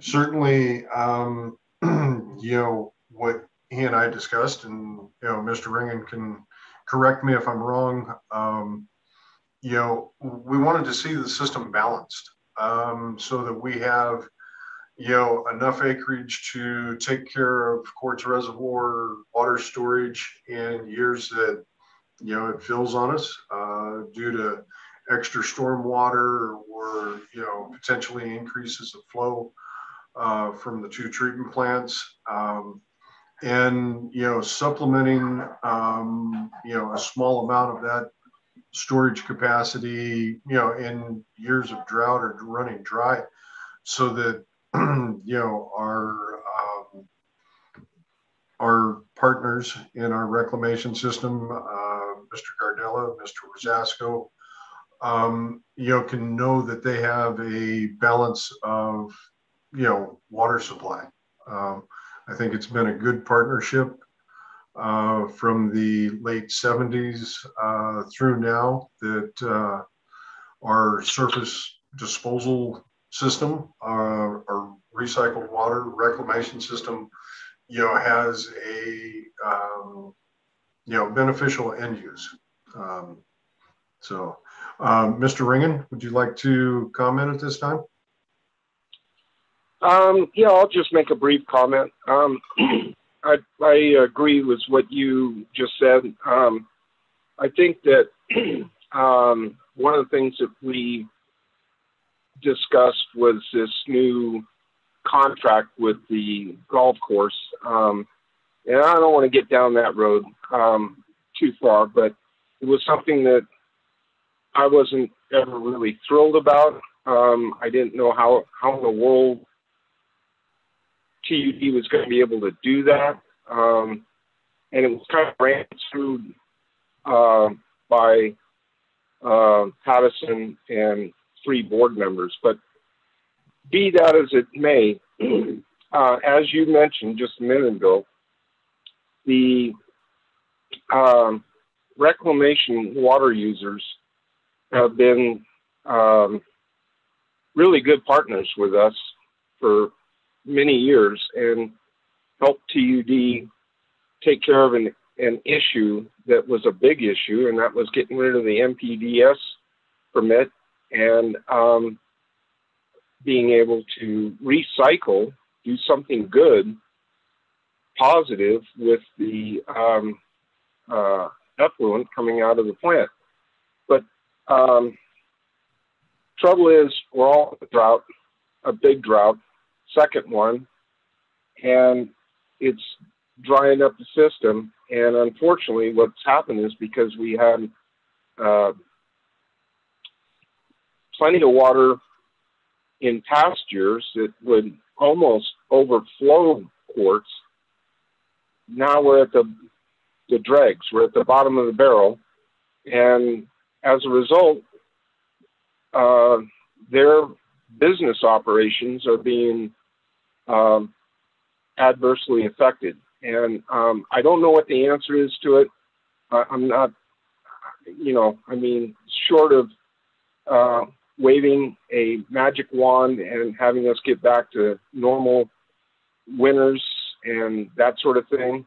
Um, I, I, don't I don't really know what the answer is, but um, uh, I think that we should spend whatever thinking and and um, problem solving we can in order to keep them uh, in enough water that they can still run their businesses. Because this is an agricultural county, believe it or not. Not it isn't anymore, but it should be. This is a county that used to grow all the food that went to Bodie, and now um, it's nothing close to that. So, any rate, that's my two cents worth, and I'm looking forward to a uh, robust discussion on this. That um, you know, and I think the contract for um, the tribe, and and not getting into any examination of any details, you know, the use of that acreage, um, in my mind, does come into play. Um, certainly, you need enough acreage that there is no question at all Quartz reservoir elevation on April 15th is going to be at the four foot of uh, freeboard. And we have a, you know, a potential surplus of recycled water available. And certainly having enough acreage to draw that all the way back down to make sure that we have wet season storage. Um, you know, I certainly think that is a um, you know, that's the way it should be operating. Um, starts up somewhere in, in and around April 15th, and then somewhere around October 15th, it's prepared and ready to go into wet season storage uh, for recycled water. Um, certainly, the new treatment plant um, is going to increase the water quality a little bit. Um, there should be a you know substantial, you know, somewhere between a moderate to a substantial reduction in the nutrients. Um, so it, that will reduce odors and you know some some of the sediments that are currently in pipelines uh, will be greatly reduced over time. Um, the uh, main questions we have is, you know, how do we develop a policy uh, to look at that? Um, certainly, um, Mr. Perkins, I heard you mention that we have a couple of wells, uh, the racetrack well um, that is contributing. That's also a beneficial one to the collection system uh, for odors in the neighborhood uh, to actually run that flushing uh, to keep that area flowing down through. Um, I was actually wondering about, you know, and maybe we toss out a few ideas of how we would get the water down there or where supplemental water would, you know, come from. Uh, I was wondering about the Melvilla well, um, you know, and potentially actually setting that up to discharge directly into the reclamations pipeline. Um, instead of you know running it down. I, I, know we can run a certain amount of you know the backwash water uh, tank down to the uh, sanitary sewer pump station back up to regional, but maybe actually doing a project that you know potentially puts that directly into the pipeline instead of going to uh, treatment. Um, that, do you have any water quality what would be water quality issues with the water in that particular well um, that would be detrimental, that would need some sort of treatment? As a raw yeah. water source, not a potable water source. Yeah, let me, uh, I'll, I'll get into all of that. I kind of want to just, uh, you know, chime in and, and have my comments too. Uh, I totally agree uh, and, and have a, a real appreciation for this partnership we have with the reclamation users. I have done my homework and my research, and I understand the, old history before Quartz existed in that relationship. So I totally understand and get and appreciate this uh, re this relationship that we have them with uh, the reclamation users. Um, I can, we know, David, in my short time as being the operations manager, um, you know, we have seen, you and I have seen uh, uh both extremes here. We've seen the a couple of times now where the extreme reports is in jeopardy and there's not enough water and how we're going to get get uh, get to the end of the season. We've seen the other uh, extreme where Quartz is so so full that we've had to go out to the reclamation users and ask them to take every drop of water they can possibly take, you know, to help us out. So it is definitely a working relationship. That's why I feel so motivated to do everything we can within our within our means to uh, to bridge this gap this year. None of us here at TUD, David, uh, you know this as well as I. None of us are the types of people who are faced with a challenge and just shrug our shoulders, throw our hands up in the air, and move on. Right now, we're gonna we're gonna work hard. We're gonna find a way as best we can to find a solution to these problems that we're having.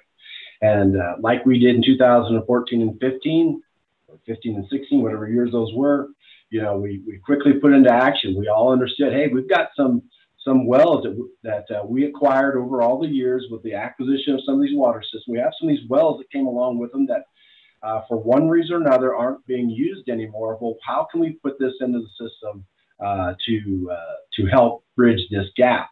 And you know, not for me, not having a full, complete understanding of how much water the reclamation use, users use over that period of time, but I just knew that we had some of this water and it might as well go to beneficial use. Yes, it costs us a little bit of power, a little bit of man manpower, uh, man hours to run these things, but hey, uh, it's worth the effort in my mind. So you know, off the top of my head, we, you know, obviously you mentioned the racetrack well. It can put out. I've, Rich has some data uh, to give us some uh, far as flow volumes goes, but you know, we, the racetrack was traditionally a good producer, but it had some water quality issues, so it was no longer potable unless we did some treatment, uh, which would be very expensive, or we did some sort of a blending. So it just was never used it for potable reasons, at least in my 21 years.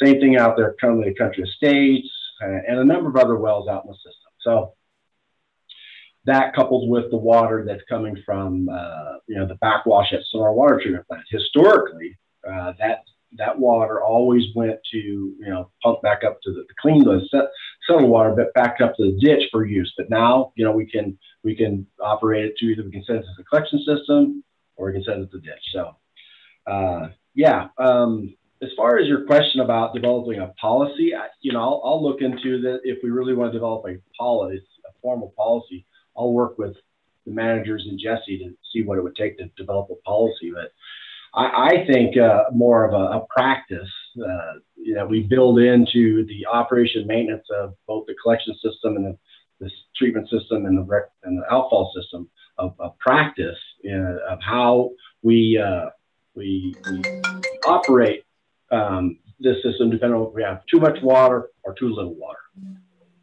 So I don't know. I went on and on there. Did I answer anything or provide any more information for you? That's not, as like I said, Rich has some data on, on how much water we brought into the system this year. Very early on, in back in April, I think it was April or May, I met with the, the former uh, reclamations coordinator who is no longer with us. He left uh, suddenly here uh, some time ago, I met with him and, and Rich and said, you know, we're going to be in trouble.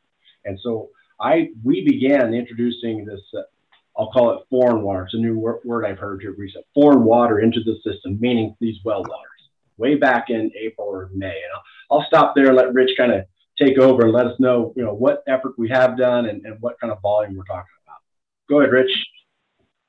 Thank you, Don. Um, so actually, the, the data that I have um, started in about uh, March, March 17th. We started uh, running the racetrack well. Shortly after that, um, I think March 30th, we started running the Country Estates well. Um, and let me let, let, me give you the big number. The big number is um, since March, we have put in approximately um, 25 million gallons into the system, which is around 77 acre feet. Um, so then I can now I can break it down. Um, so for instance, the racetrack well, um, it's we're running it right now about 77 gallons a minute for 12 hours a day. So since March, we put in from that racetrack well um, about 6 million gallons. Um, from the uh, Country Estates well, which goes into uh, our Damon lift station out in Columbia, um, we're running that at around uh, 30 gallons a minute um, for 12 hours a day. We've put in 1.5 million gallons um, from that well. Um, we're also dumping in some water from um, the Greenlee plant. We've been doing that for about three weeks now at about uh, 92 gallons a minute. Um, we had it lower, we've raised it. So I kind of average it out to about 92 gallons a minute, which is about 2.5 million gallons um, from that. And then um, the, as Don mentioned, the Sonora water treatment plant contributes about 90,000 gallons a day. So Gosh, since, since, um, since April, um, 163 days, it's been about 14, 14, 15 million gallons that have come, come from the uh, Sonora water treatment plant. So all that adds up to approximately, like I said, about 25 million gallons. So um, I have a question if I could. Sure. Go ahead, Ron. So, um, who is paying for the power to run those well pumps? As you mean, um, as yes. far as like ratepayers or um, because obviously we're paying for it, but um, are you talking about the like certain ratepayers?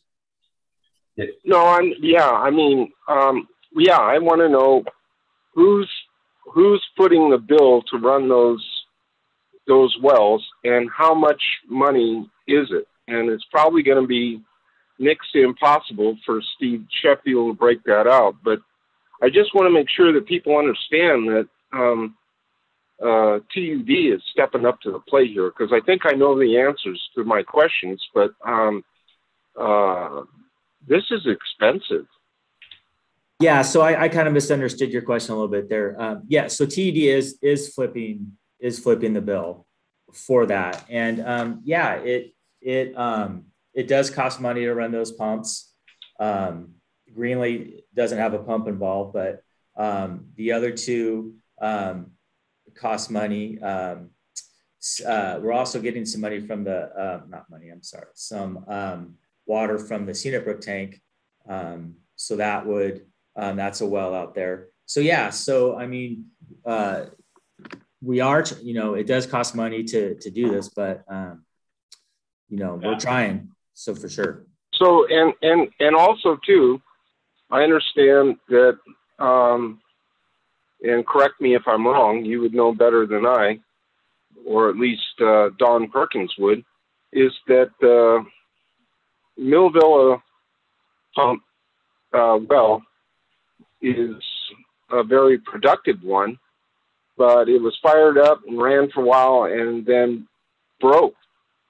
And now TUD, I believe, if I've got my figures correct, is stepping up to the plate for $200,000 to get that thing renovated and back online. Is that correct? That's correct, David. I, I did totally jump right over your initial question to me about the status of the Millville well. So I, I guess I should uh, jump in there and talk to you a little bit about the Millville well. So yeah, uh, Director Ringen, you're correct. Uh, that that well is a good producer.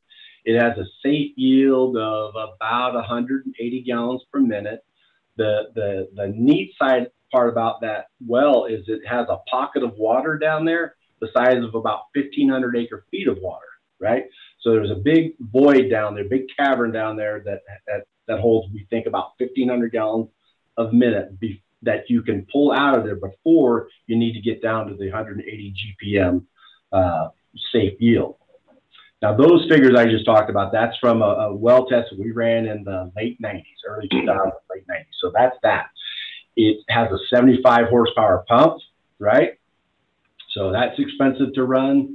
And Director Boatwright, you're asking about, you know, how we can get water where, and it's really unique up there. Uh, you can you can pump water right into the distribution system if the water quality allowed it, which it doesn't. You can we now have a treatment plant up there, uh, but before the treatment plant existed, 2015 or 16, we would pump directly to the tank up at Mill Villa, then use it out that way.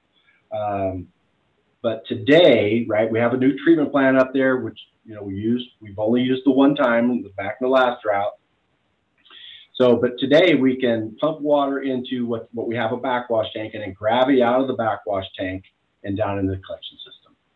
And then, of course, it's got to go through the Millvilla sewer lift station to get back up to the plant. Well, I guess the only thing I want to tag on to what my comments or questions or whatever you want to call them is it ain't like TUD ain't doing nothing. We're busting rear ends. All right, uh, Mr. Ringen, uh, Mr. Sheffield's had his hand up for a couple minutes. Yeah. That's all right. No rush. I was just going to respond and to contribute and hopefully clarify.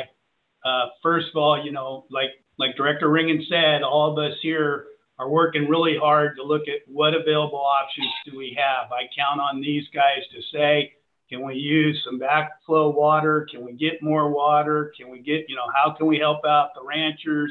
How are we going to do this and everything else? So, you know, to me, this is just an example uh, of what they're doing and how they're doing it. It wasn't necessarily in my line item budget, but, you know, each day brings us a new excitement, a new challenge, and we respond to it. But I will say, Director Ringen, you should know me better than that by now. I track everything. And so if you want to know, I mean, we track every single utility electricity hookup we have through TPPA and through uh, PG&E. So we have, we can tell you exactly how much power and how much cost each one of these wells uh, will cost us when we're all said and done. But we, we literally track it down to that detail. And yes, TUD is paying for all of this, but uh, I do have that information and, and we can do kind of a summary after we get through this drought, just like we always do. And hopefully the rains come. But uh, yeah, just so you know, we, we do track it and I can get that to you. I know, I know, and I and I appreciate that, Steve. Um, and I know because I go through the claim summary every single month, and I see that it's all broken down. I do not want you to have to do that for two reasons. One, you already have too much on your plate. And number two, I don't want to get sick. I mean, I don't want to know that figure. I know it's going to be huge because I look at the electrical bill from both PG&E and TPPA, and uh, when you add them together, it's horrible. A, a ton of TUD money goes out for power. So please don't don't spend your valuable time doing a process like that because I don't need to know. Besides that, I don't want to get uh, a sick stomach. Um, Mr. Ringen, I have one additional comment question um, just to assure. Um, Mr. Sheffield, um, are you able to make sure that the increased cost, i.e., do these facilities have a separate meter that uh, wastewater eh, would be picking up under O&M? That you know, every every connection we have has its own meter. Those meters are tracked and they are assigned if it is dedicated to water or wastewater. Uh, it just depends. In this case, we're kind of using it for two. You know, we are using it for reclamation directly but some of these other ones that Don and Eric have mentioned may be combined. You know, like obviously the Sonora treatment plant has to backwash. So that one's going to go through the water on here. But some of these newer ones, uh, we'll look at and we charge it and account for it to the best of our ability. Okay. We have uh, Nathan's hand up with a comment, I believe. You know, um, eh, you know, I'm definitely leaning towards um, you know, this this sounds like we need a, a direct policy um, that would cover this. Uh, obviously, there would be some cost um, a, there will be a meeting. Um, there's cost associated with that. That you know, a, it would take the whole board to actually vote on it to see if uh, that cost should be borne by the collection system, sanitary sewer collections uh, customer uh, through our rates, or if you know this was a sole sourcing, um, you know, benefit to the reclamations um, partnership. And, uh, you know, therein lies where, you know, we're going to have, you know, emotions. And, you know, I, we're going to talk this thing all the way through. We may talk about this thing very loud at times. Uh, and, and that's perfectly acceptable.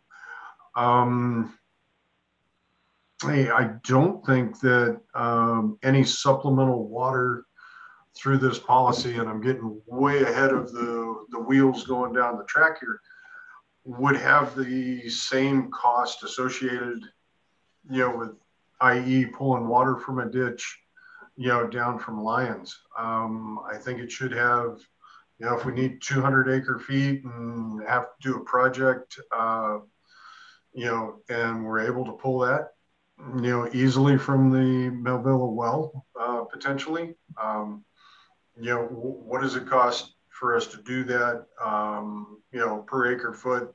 And, and February, um, you know, or March uh, reclamations luncheon, you know, that, that's where we discuss, hey, uh, this is a water level we're at.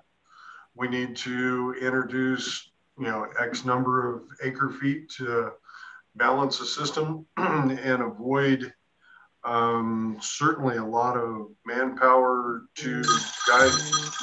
Sorry. If I can, I apologies for the phone ringing. Um, yeah, they have a mind of their own.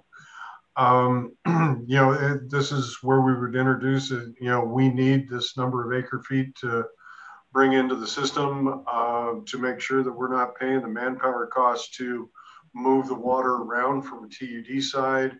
Certainly, uh, Mr. Rosasco or Mr. Gardella may be able to contribute information on the extra manpower that they're having to put out, um, you know, in guiding and dealing with this water. Um, so uh, that, that's where I would lean that we want to, you know, make sure we have a you know, guided policy for our reclamation system. But, uh, Mr. Ringen, um, do you have any other? I had my hand up. Nope. Oh, I'm, I'm sorry. Yeah. I was letting you finish before I called on him. Kind of got that blended. Uh, Mr. Rosasco, go ahead. Yeah, a couple of things I wanted to point out was, and I, am agreeing with this, that we do need to some develop some kind of a policy. Um, because policies are something that the board can look at and and the actual TUD can look at and, and follow. You know, we've been kind of running by the seat of our pants there. And, and I want to make people perfectly clear guys like John Gardella and myself and people in the upper zone have been using this water for 40 years. You know, we've, we've developed businesses that revolve around this water. So, and trust me, I've been through many droughts. And we were through the drought in 1990. We've also were through the drought in 2014. So we've dealt with the droughts. And I'm appreciative of what TUD is trying to do. One of the problems I have, though, you're running too a little too late this time of year to try to make up. You know, I point out to people all the time, we had I use myself personally, I could use up to 500 acre feet of water a year in, in my system alone. You guys provide a hell of a lot of water. The actual agricultural water that goes out to the ditch customers is around 500 acre feet. So the major user for agricultural use in this county actually comes off of this reclamation system. That's not, I'm not talking about just general ditch use. I'm talking about agricultural use on the ditch. Okay. So one of the problems that I had with the, the contract with uh, Miwoks at the golf course was you guys all know there's an upper zone and a lower zone. John Gardella and myself and some other small, other users are on the lower zone. The upper zone, correct me if I'm wrong, runs directly off the plant during the summertime. All right. So those people in that upper zone, when you sign that contract with the Miwoks, they're going to be directly impacted. You know, you store water in Quartz for John and myself and the other users. I don't, I can't think right off the hand who the other users are. So we are kind of security. That's our Quartz is our security blanket. But when you dig into that upper zone water, you take it from a lot of customers who have been there a long time. And I know Benny McCray and Betty West and those people, they've been there since the beginning. In fact, I think they were there before we were. If I'm correct me if I'm wrong, if the history is right. Because I believe they were served off of the Smith ditch and then it was transferred over to the reclamation system. So it's going to be a big impact. I know it's down the road, but right now, in order to keep the lower zone going, you're stealing out of the upper zone. So you got people like Benny and some of those people, they're not happy with us because we're taking part of their water.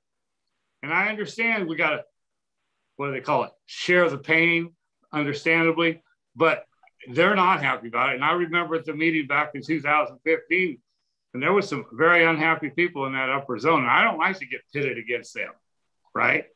And so it goes back to another thing I would like to ask Eric. When you guys talk about having Quartz completely full, when was the last time Quartz was actually completely full? I believe that with the reclamation, the way we've been using with conservation, and that's the other thing I'm going to bring up. I heard your comments on Saturday, Don and, and Eric on the radio, and I would like to add it in there.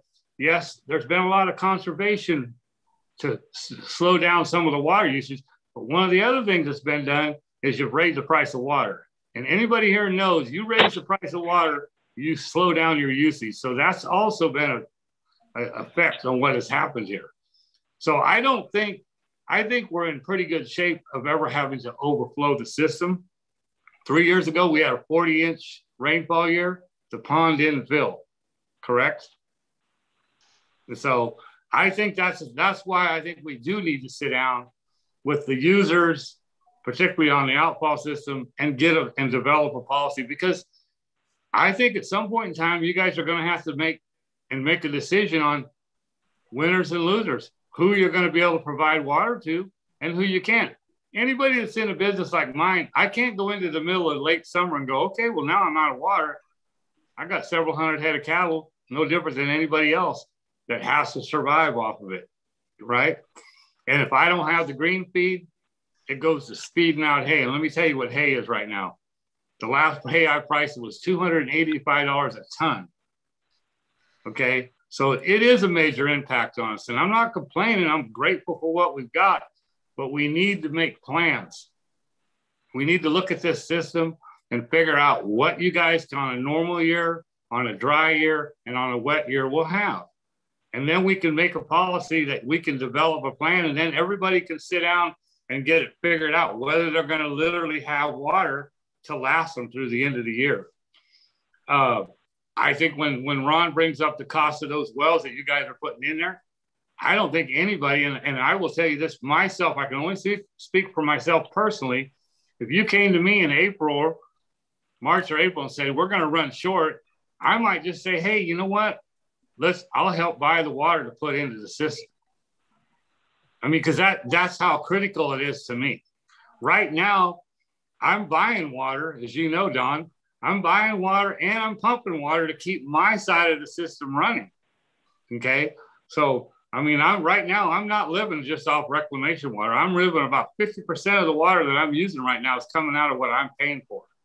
And unfortunately, for the other guys like John or the people up in the upper zone, they don't have that ability. I happen to have the ability to pull ditch water, and I have a couple wells that are probably, you know, maybe 150 gallon a minute wells that I can pull on. I can't pull on them full time.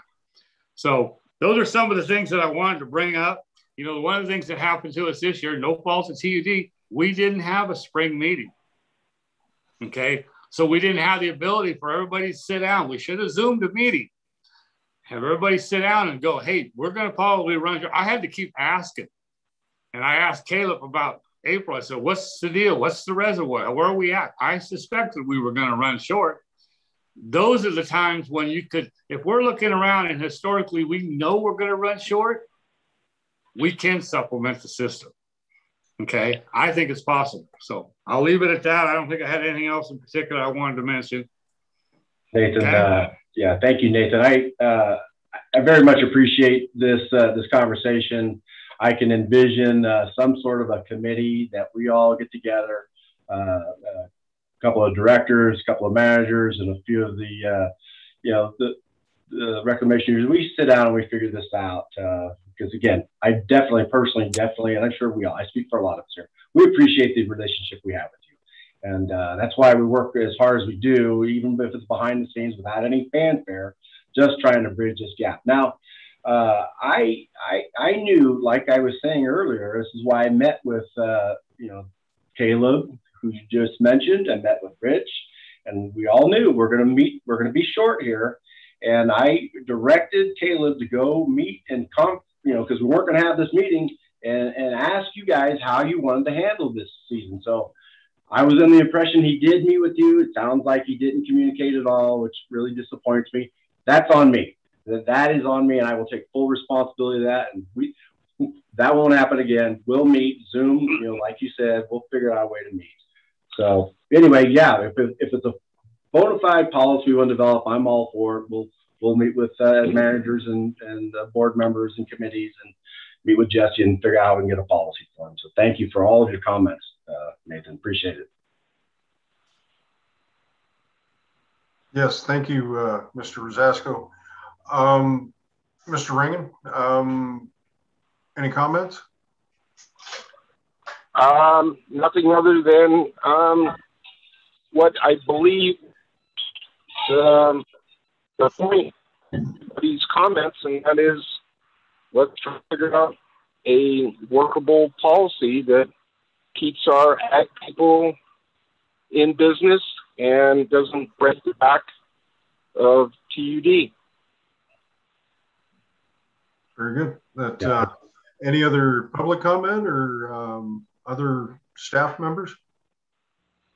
One thing I didn't make clear in my comments, uh, trying to answer some of Nathan's comments, that yes, Quartz did fill so much so that we had to build a temporary dike to stay in compliance. I had a we had a letter drafted uh, to send to whoever we need to to say that we're going to have to release into Woods Creek without a permit. So that it did happen. Uh, I I'm not sure, but I think it's now happened twice in my short time as this operations manager. Is that correct, David? We built that dike, dike twice uh, in um, the last six or seven years. Let's see. Uh, in 2011 um, was one uh, I recall as far as rented uh, rain for rent pipe, and then I want to say even though it was a drought period, it was carryover water that led us into, I believe, 2014 um, was the last uh, peak time of the reservoir elevation. Um, okay. Yeah, it, would be a matter of records check. Um, certainly, the best resource for that would be the sanitary or Sonora Regional wastewater treatment plant uh, report. Uh, it tracks uh, quartz level, referencing those back in you know April of each year. You know, going back would be an easy way to track in exactly where the reservoir started uh, season. But uh, Mr. Hand, hand up again. Well, somebody else wanted to time in. If I got a chance, uh, you know, I guess I show my age because I went through the whole we have way too much water. Mm-hmm. I got those March calls from Don Nessel saying, You got to get rid of water. And I said, Where, Don? It's too wet. The whole purpose of what the whole system, and I, and, and look, when McCulloch was here, general manager, I went, beat this horse over the head. I don't know how many times. You got to have enough outfall system to take up your wet years. But if you don't have a system where you can actually continue to operate through the dry years, you're not going to have the wet year systems. And as simple as that, you know. So if it means you have to try to supplement or augment that water during those drier years, that's what you got to do. But we, you know, I say this. This is a conversation, Eric. I think you know that I've I've been on this thing for years on this, trying to say Yes, I understand they're going to have the dry years, but in order to have that, and you guys through TUD, let me tell you what, when TUD was spilling into Woods Creek, it brought the wrath of God down on my operation because I ended up with a 30 acre foot reservoir that got taken offline that I've never got to use again. And why did that happen? Because you guys were spilling into Woods Creek and the state came up here and look, we've had monitoring wells. I mean, we all we did is just bring up a huge pile of you know what. So, you know, we got to work together because I took the, you know, I lost a reservoir that we can't put back online without a hundred thousand dollars worth of investments, probably more than that. So we've just left it empty. Okay. So these are things that we all have to work together and communicate with, you know. So I don't believe anymore that with when we take the David can correct me, Mr. Boatwright, once we took the reservoir down to the proper level in the wintertime, you know, but by wintertime, we aren't going to have that fill up problem. Our problem was we were not getting the reservoir down far enough going into wintertime. Now that we're getting it down far enough, I don't think we're going to run into that huge problem. And I think you guys smoked out a lot of the problems through your system in Sonora where you were getting huge influx of rainwater into the system. I think that was one of the main things that helped alleviate that overflow. Am I correct on that? Absolutely. That's uh, very, very good points, Mr. Rosasco. And I like the way you, you, you put that, that we will never have a wet season system for use uh, if we don't support it in the dry drier years. Um, very well put. That uh, and I concur with Mr. Ringen that uh, I would, you know, excuse me, uh, like to see us uh, pursue a policy that uh, you know guides us through uh, for a reclamation system. You know, um, David, I just to address um, Nathan. Um, you've been consistent, Nathan, along, and I think you have a good understanding of the challenges. Certainly, you know your challenges better than we do, and you have a good understanding of our challenges as well. Um, I'm wholeheartedly um, in favor of if it's not a policy, it's something that's a guiding document because as a business owner, you don't like unknowns.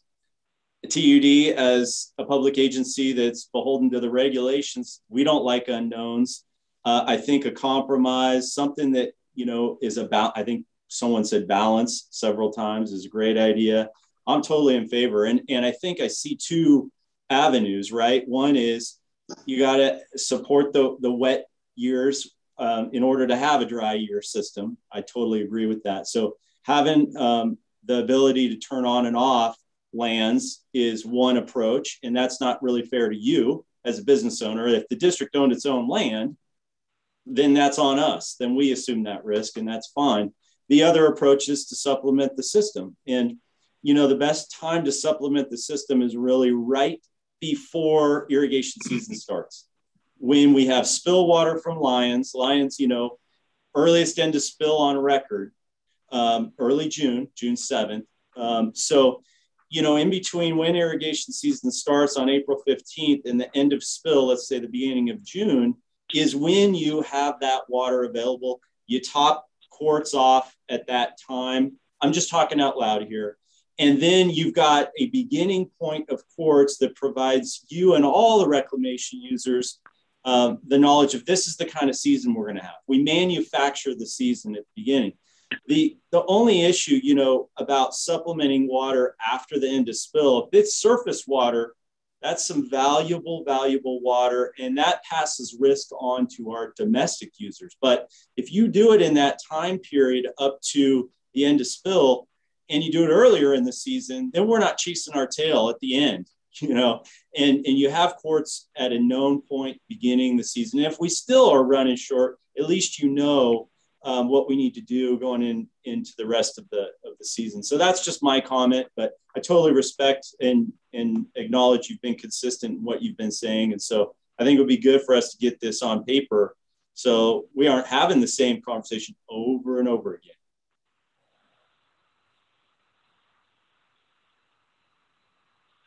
Hmm. Hopefully that was respectful. I was just, you know. No, I, am all, I'm all with it, Eric. I we've worked over the years on this stuff You know, I, I was hoping by this time we'd have some of this stuff figured out. But you know what? It, you know what? You guys have a system that's in flux always. And so I, I know that with the new plant coming on, and I, I understand one of the things that you're going to deal with is this newer quality, higher quality water. I understand that, you know. And so I, I when I saw you guys do the 300 acre fit, you know, availability to Miwoks out off the golf course, that I understood the reasoning. What I didn't understand was nobody reached out to current users and said, "This is what we're thinking of doing. What do you think?" You know, and I've been a customer, you know, or a user, I should say, for you guys for 40 years. There was a little bit of me that said, "Really, you could have come back and called us in and said, "Hey, what are you thinking?" You know, and, yeah. and I honestly, I really worry about it because it, I'm worried about the upper zone you know, that because they're the ones that are going to get affected. I don't think it's going to affect us as much. Do you? Well, I'll be honest with you. Valid concern. Um, good point. Uh, we should have should have had a conversation with you guys so you weren't caught off guard. I will say though that contract was written in a way that could it, they could be phased in so that it didn't have an impact to lower zone or upper zone. We're under no obligation to serve them reclamation water, so we could literally choose to just serve them reclamation water in a really wet year when everybody when there was excess. And there isn't doesn't appear to be excess very often anymore. But i do have to believe that 20 years from now we're going to live in a world that may have a 60 inch rainfall year now and then. You know i mean we're moving towards a drier climate but that doesn't mean that the one off those those intense years and the variability in the climate isn't going to increase. And we got to design for that too. So, um, I, you know, we can talk offline because I know this is a hot button subject about the golf course, but it really can be phased in um, a little bit at a time to that golf course so that we aren't burdening existing customers uh, in, in the reclamation system. I agree. It appears we lost uh, Mr. Ringen again that um, but uh, you know i do believe we're all in agreement. Um, you know and certainly we can debate the details of the, the contract that you know that contract exists. Uh, both parties are you know bound to the agreement in it. Um, so i don't think those are so much the details of where this policy would go. Um, because i do feel that that is a component. Um, certainly the acreage that that contract represents is a big component of the wet season, you know, years uh, where there is a large amount of reclamations water. Um, but in the drier years, uh, that's where the policy will direct and you know come up with a way to make sure that the system's balanced. But, uh, um, Corey, uh, any possibility you could contact Mr. Ringen, see if he's going to be able to come back? Um, I think we're at a point where we're winding this down. Um, yeah, let me see if I could get a hold of him uh, on the side. Hold on just a moment.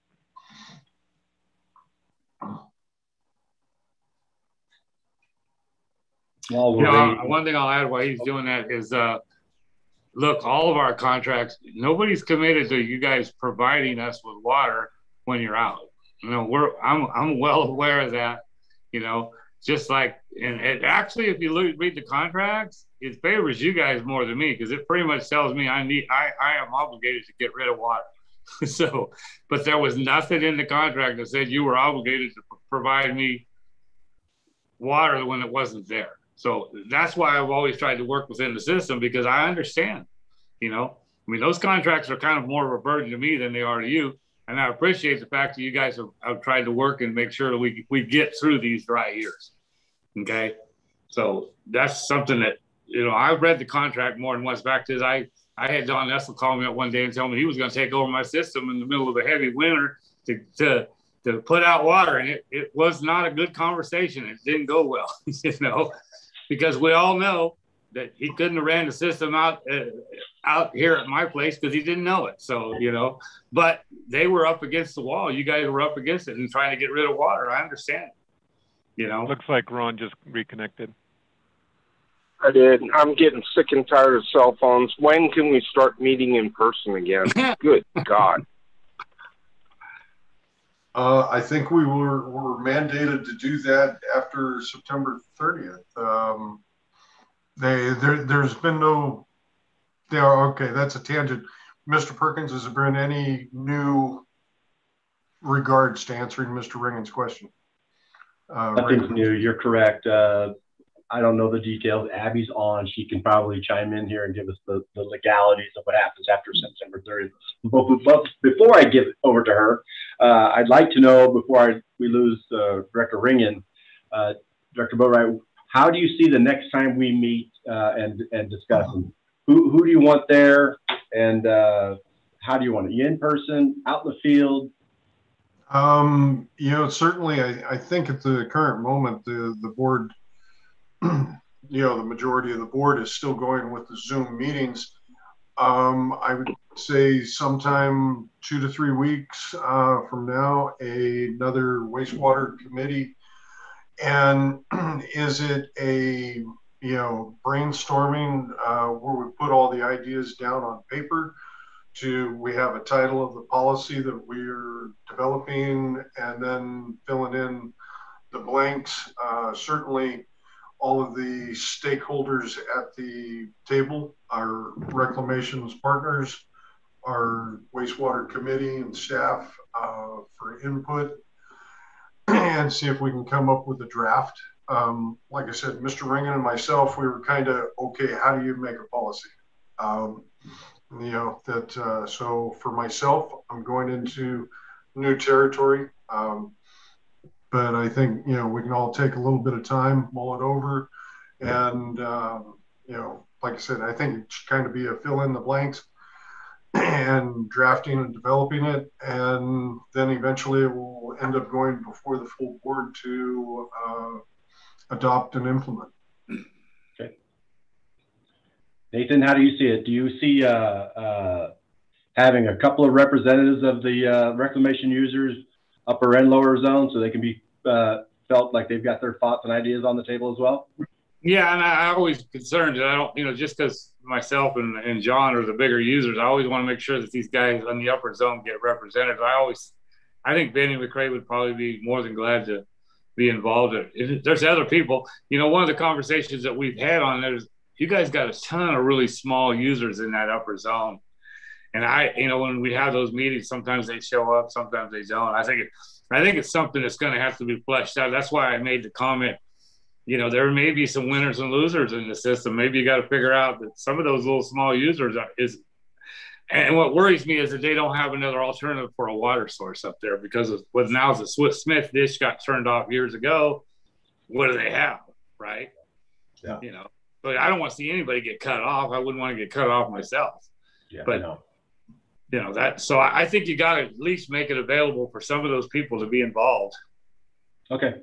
Yeah uh, certainly to make sure that they're all aware uh, i know our agendas are posted but you know make sure that they're aware of you know hey this is a policy on reclamations we're talking about. But uh, they may join us here in zoom or in person uh, can, I, can I ask eric a quick question um, is is the Egan? Do you guys even use any of that anymore? Uh, what's basically it's offline? Is that true? That's uh, correct. Go ahead. Go ahead, yes, uh, Director Right, you know. Yeah, there there was an aluminum pipe. Uh, we're talking about Egan Ranch. Yes. Uh, yeah, there was an aluminum pipe system out there, and I think in 20 you know, like I said, 2014 comes to mind. Uh, we did put water out there and put it out through an aluminum pipe system. Uh, I believe that was the same year that we were using uh, some property on Mr. Gardella's ranch as well too with the run-it system. Okay. So do you visualize ever using that as, is, is that what you guys envision? They're going to try to make it something that's just a, an excess usage type of deal? Uh, I, you know, as far as any future use of the Egan Ranch on my part would be speculation. Uh, Mr. Perkins, is that not um, also one of the pieces of property that's listed on the surplus? Uh, no, it's not currently listed on the surplus property, uh, but it's certain, we're certainly thinking about listing a surplus. I don't know the, the history either because that obviously it's way before my time when we purchased it and the reason for purchasing purchasing it and all that. But what I think I understand is we paid a fair amount of money on I don't know 80 acres of land just for this reason, right? It made sense, except with all of the thises and that, the setbacks and the restrictions, there's really not enough usable land out there that we actually apply water to to make it worth our while. That's my summation of that. So we again we paid a fair amount of money for a piece of property we really can't utilize, and even in and it had to be after 2015 because we did that when I was the operations manager. So it was either 15, 16, 17, one of them years where we Yep, we rented some more, uh, spent, I don't know, $30,000 rain for rent equipment so we can sprinkle, you know, what, nine acres of water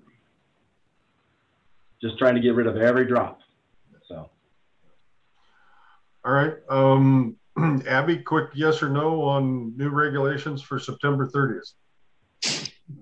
Nothing has changed since the executive order 821 that was signed on June 11th, stating that the authorization to conduct virtual meetings without the normal Brown Act postings um, were expiring by September 30th. So Anything following that would need to be an open public in-person meeting or if someone was joining virtually, one of the board members was joining virtually, they would have to post the location that they'll be joining the meeting from, and that location would have to be open to the public.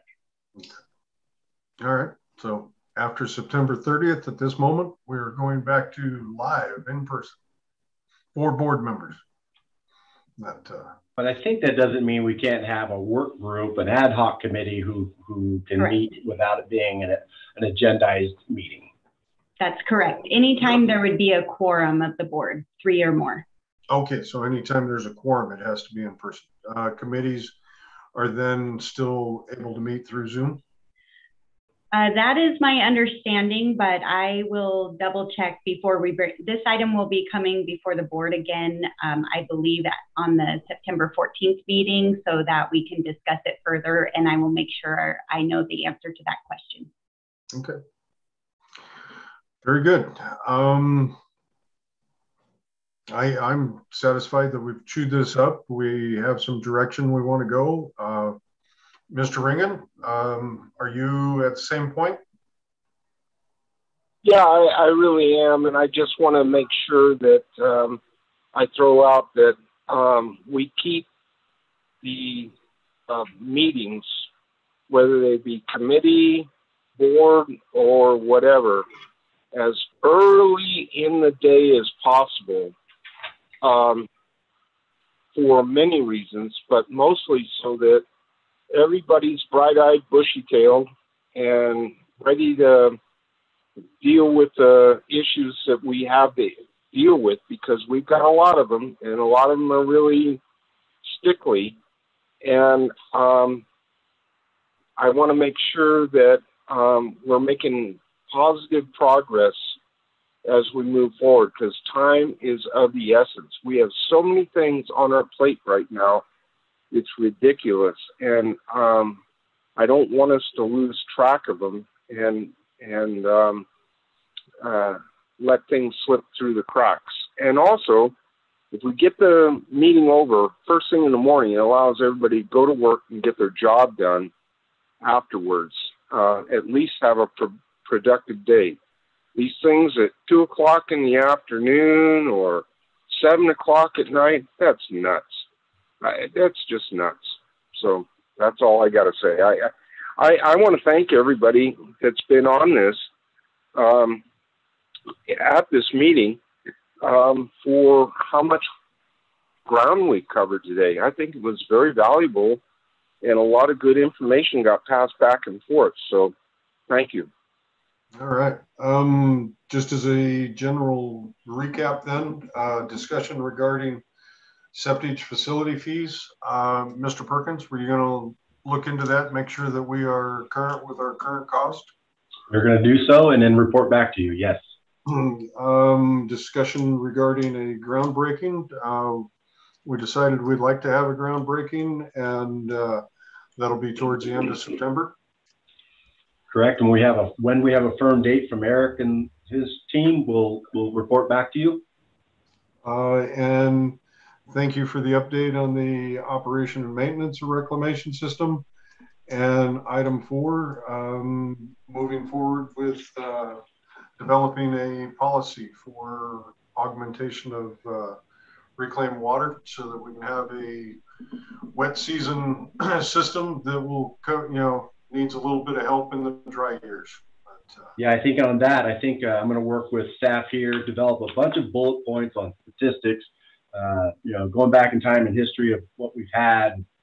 Uh, we'll throw out all kinds of data on, on different ways to supplement water, this augment this water, uh, and uh, put all this stuff on, on a piece of information and schedule another meeting, whether it's a, a wastewater committee meeting or just a, an ad hoc committee meeting in two to three weeks. That sound about right? Yep, sounds good. So uh, Nathan, are how how comfortable are you with the information as far as uh, how this current season is going to end? Do you have any idea or you comfortable with the information you have to know when we're going to run out of water at all? Do You... well, at this point in time, I'm just kind of hanging on with whatever you send my way. yeah, well, we're down to eight percent. Uh, yeah. I, again, I didn't finish with the Millville. Uh, it, it, did blow a hole in the pipe. We think we can't get the water out of the hole. Uh, we're going to do a condition assessment on that, uh, and we'll know more later. And then we're going to apply for a grant. So there's some opportunistic grants right available right now. We're working hard on to get that that well re repaired. So that's well, I, I, think, I think David had talked about it before, and I, and I actually think his idea of dedicating the line over to the plant might be a, a future solution. I don't think it's going to do anything for us now, but I, I literally think that is a good idea. And, uh, you know, because I think, I think one of the things you guys have ran into, I, I know, I think in the past you were able to put water into the wood spigot and pick it up as a plant, but I think something that would make it available a lot easier. And we all know that Fish and Game's got to be involved when it comes into dropping water into any waterway. So, um, I think that mill on a in a long term or short term, long term future, I think that mill Millville well might be something that could really help us out. Yeah. Okay. okay. Like I said, I'll, we'll we'll collect all of this uh, all this information we've talked about and anything else we can come up with and organize a meeting and let's figure this thing out. Sounds good. All right. Very good. That uh, Mr. Ringen, I'm about to adjourn this meeting. Are you good with that? I am very good with that. I think it was very productive, and I want to thank everyone that participated once again. Um, this is what it takes everybody working together. All right, very good. Thank you. Um, um, I will adjourn this meeting for the wastewater uh, committee at 1217 then. Everybody have a great day. Thank you. Appreciate Thank it. Thank you. Good work. Bye now. Bye-bye.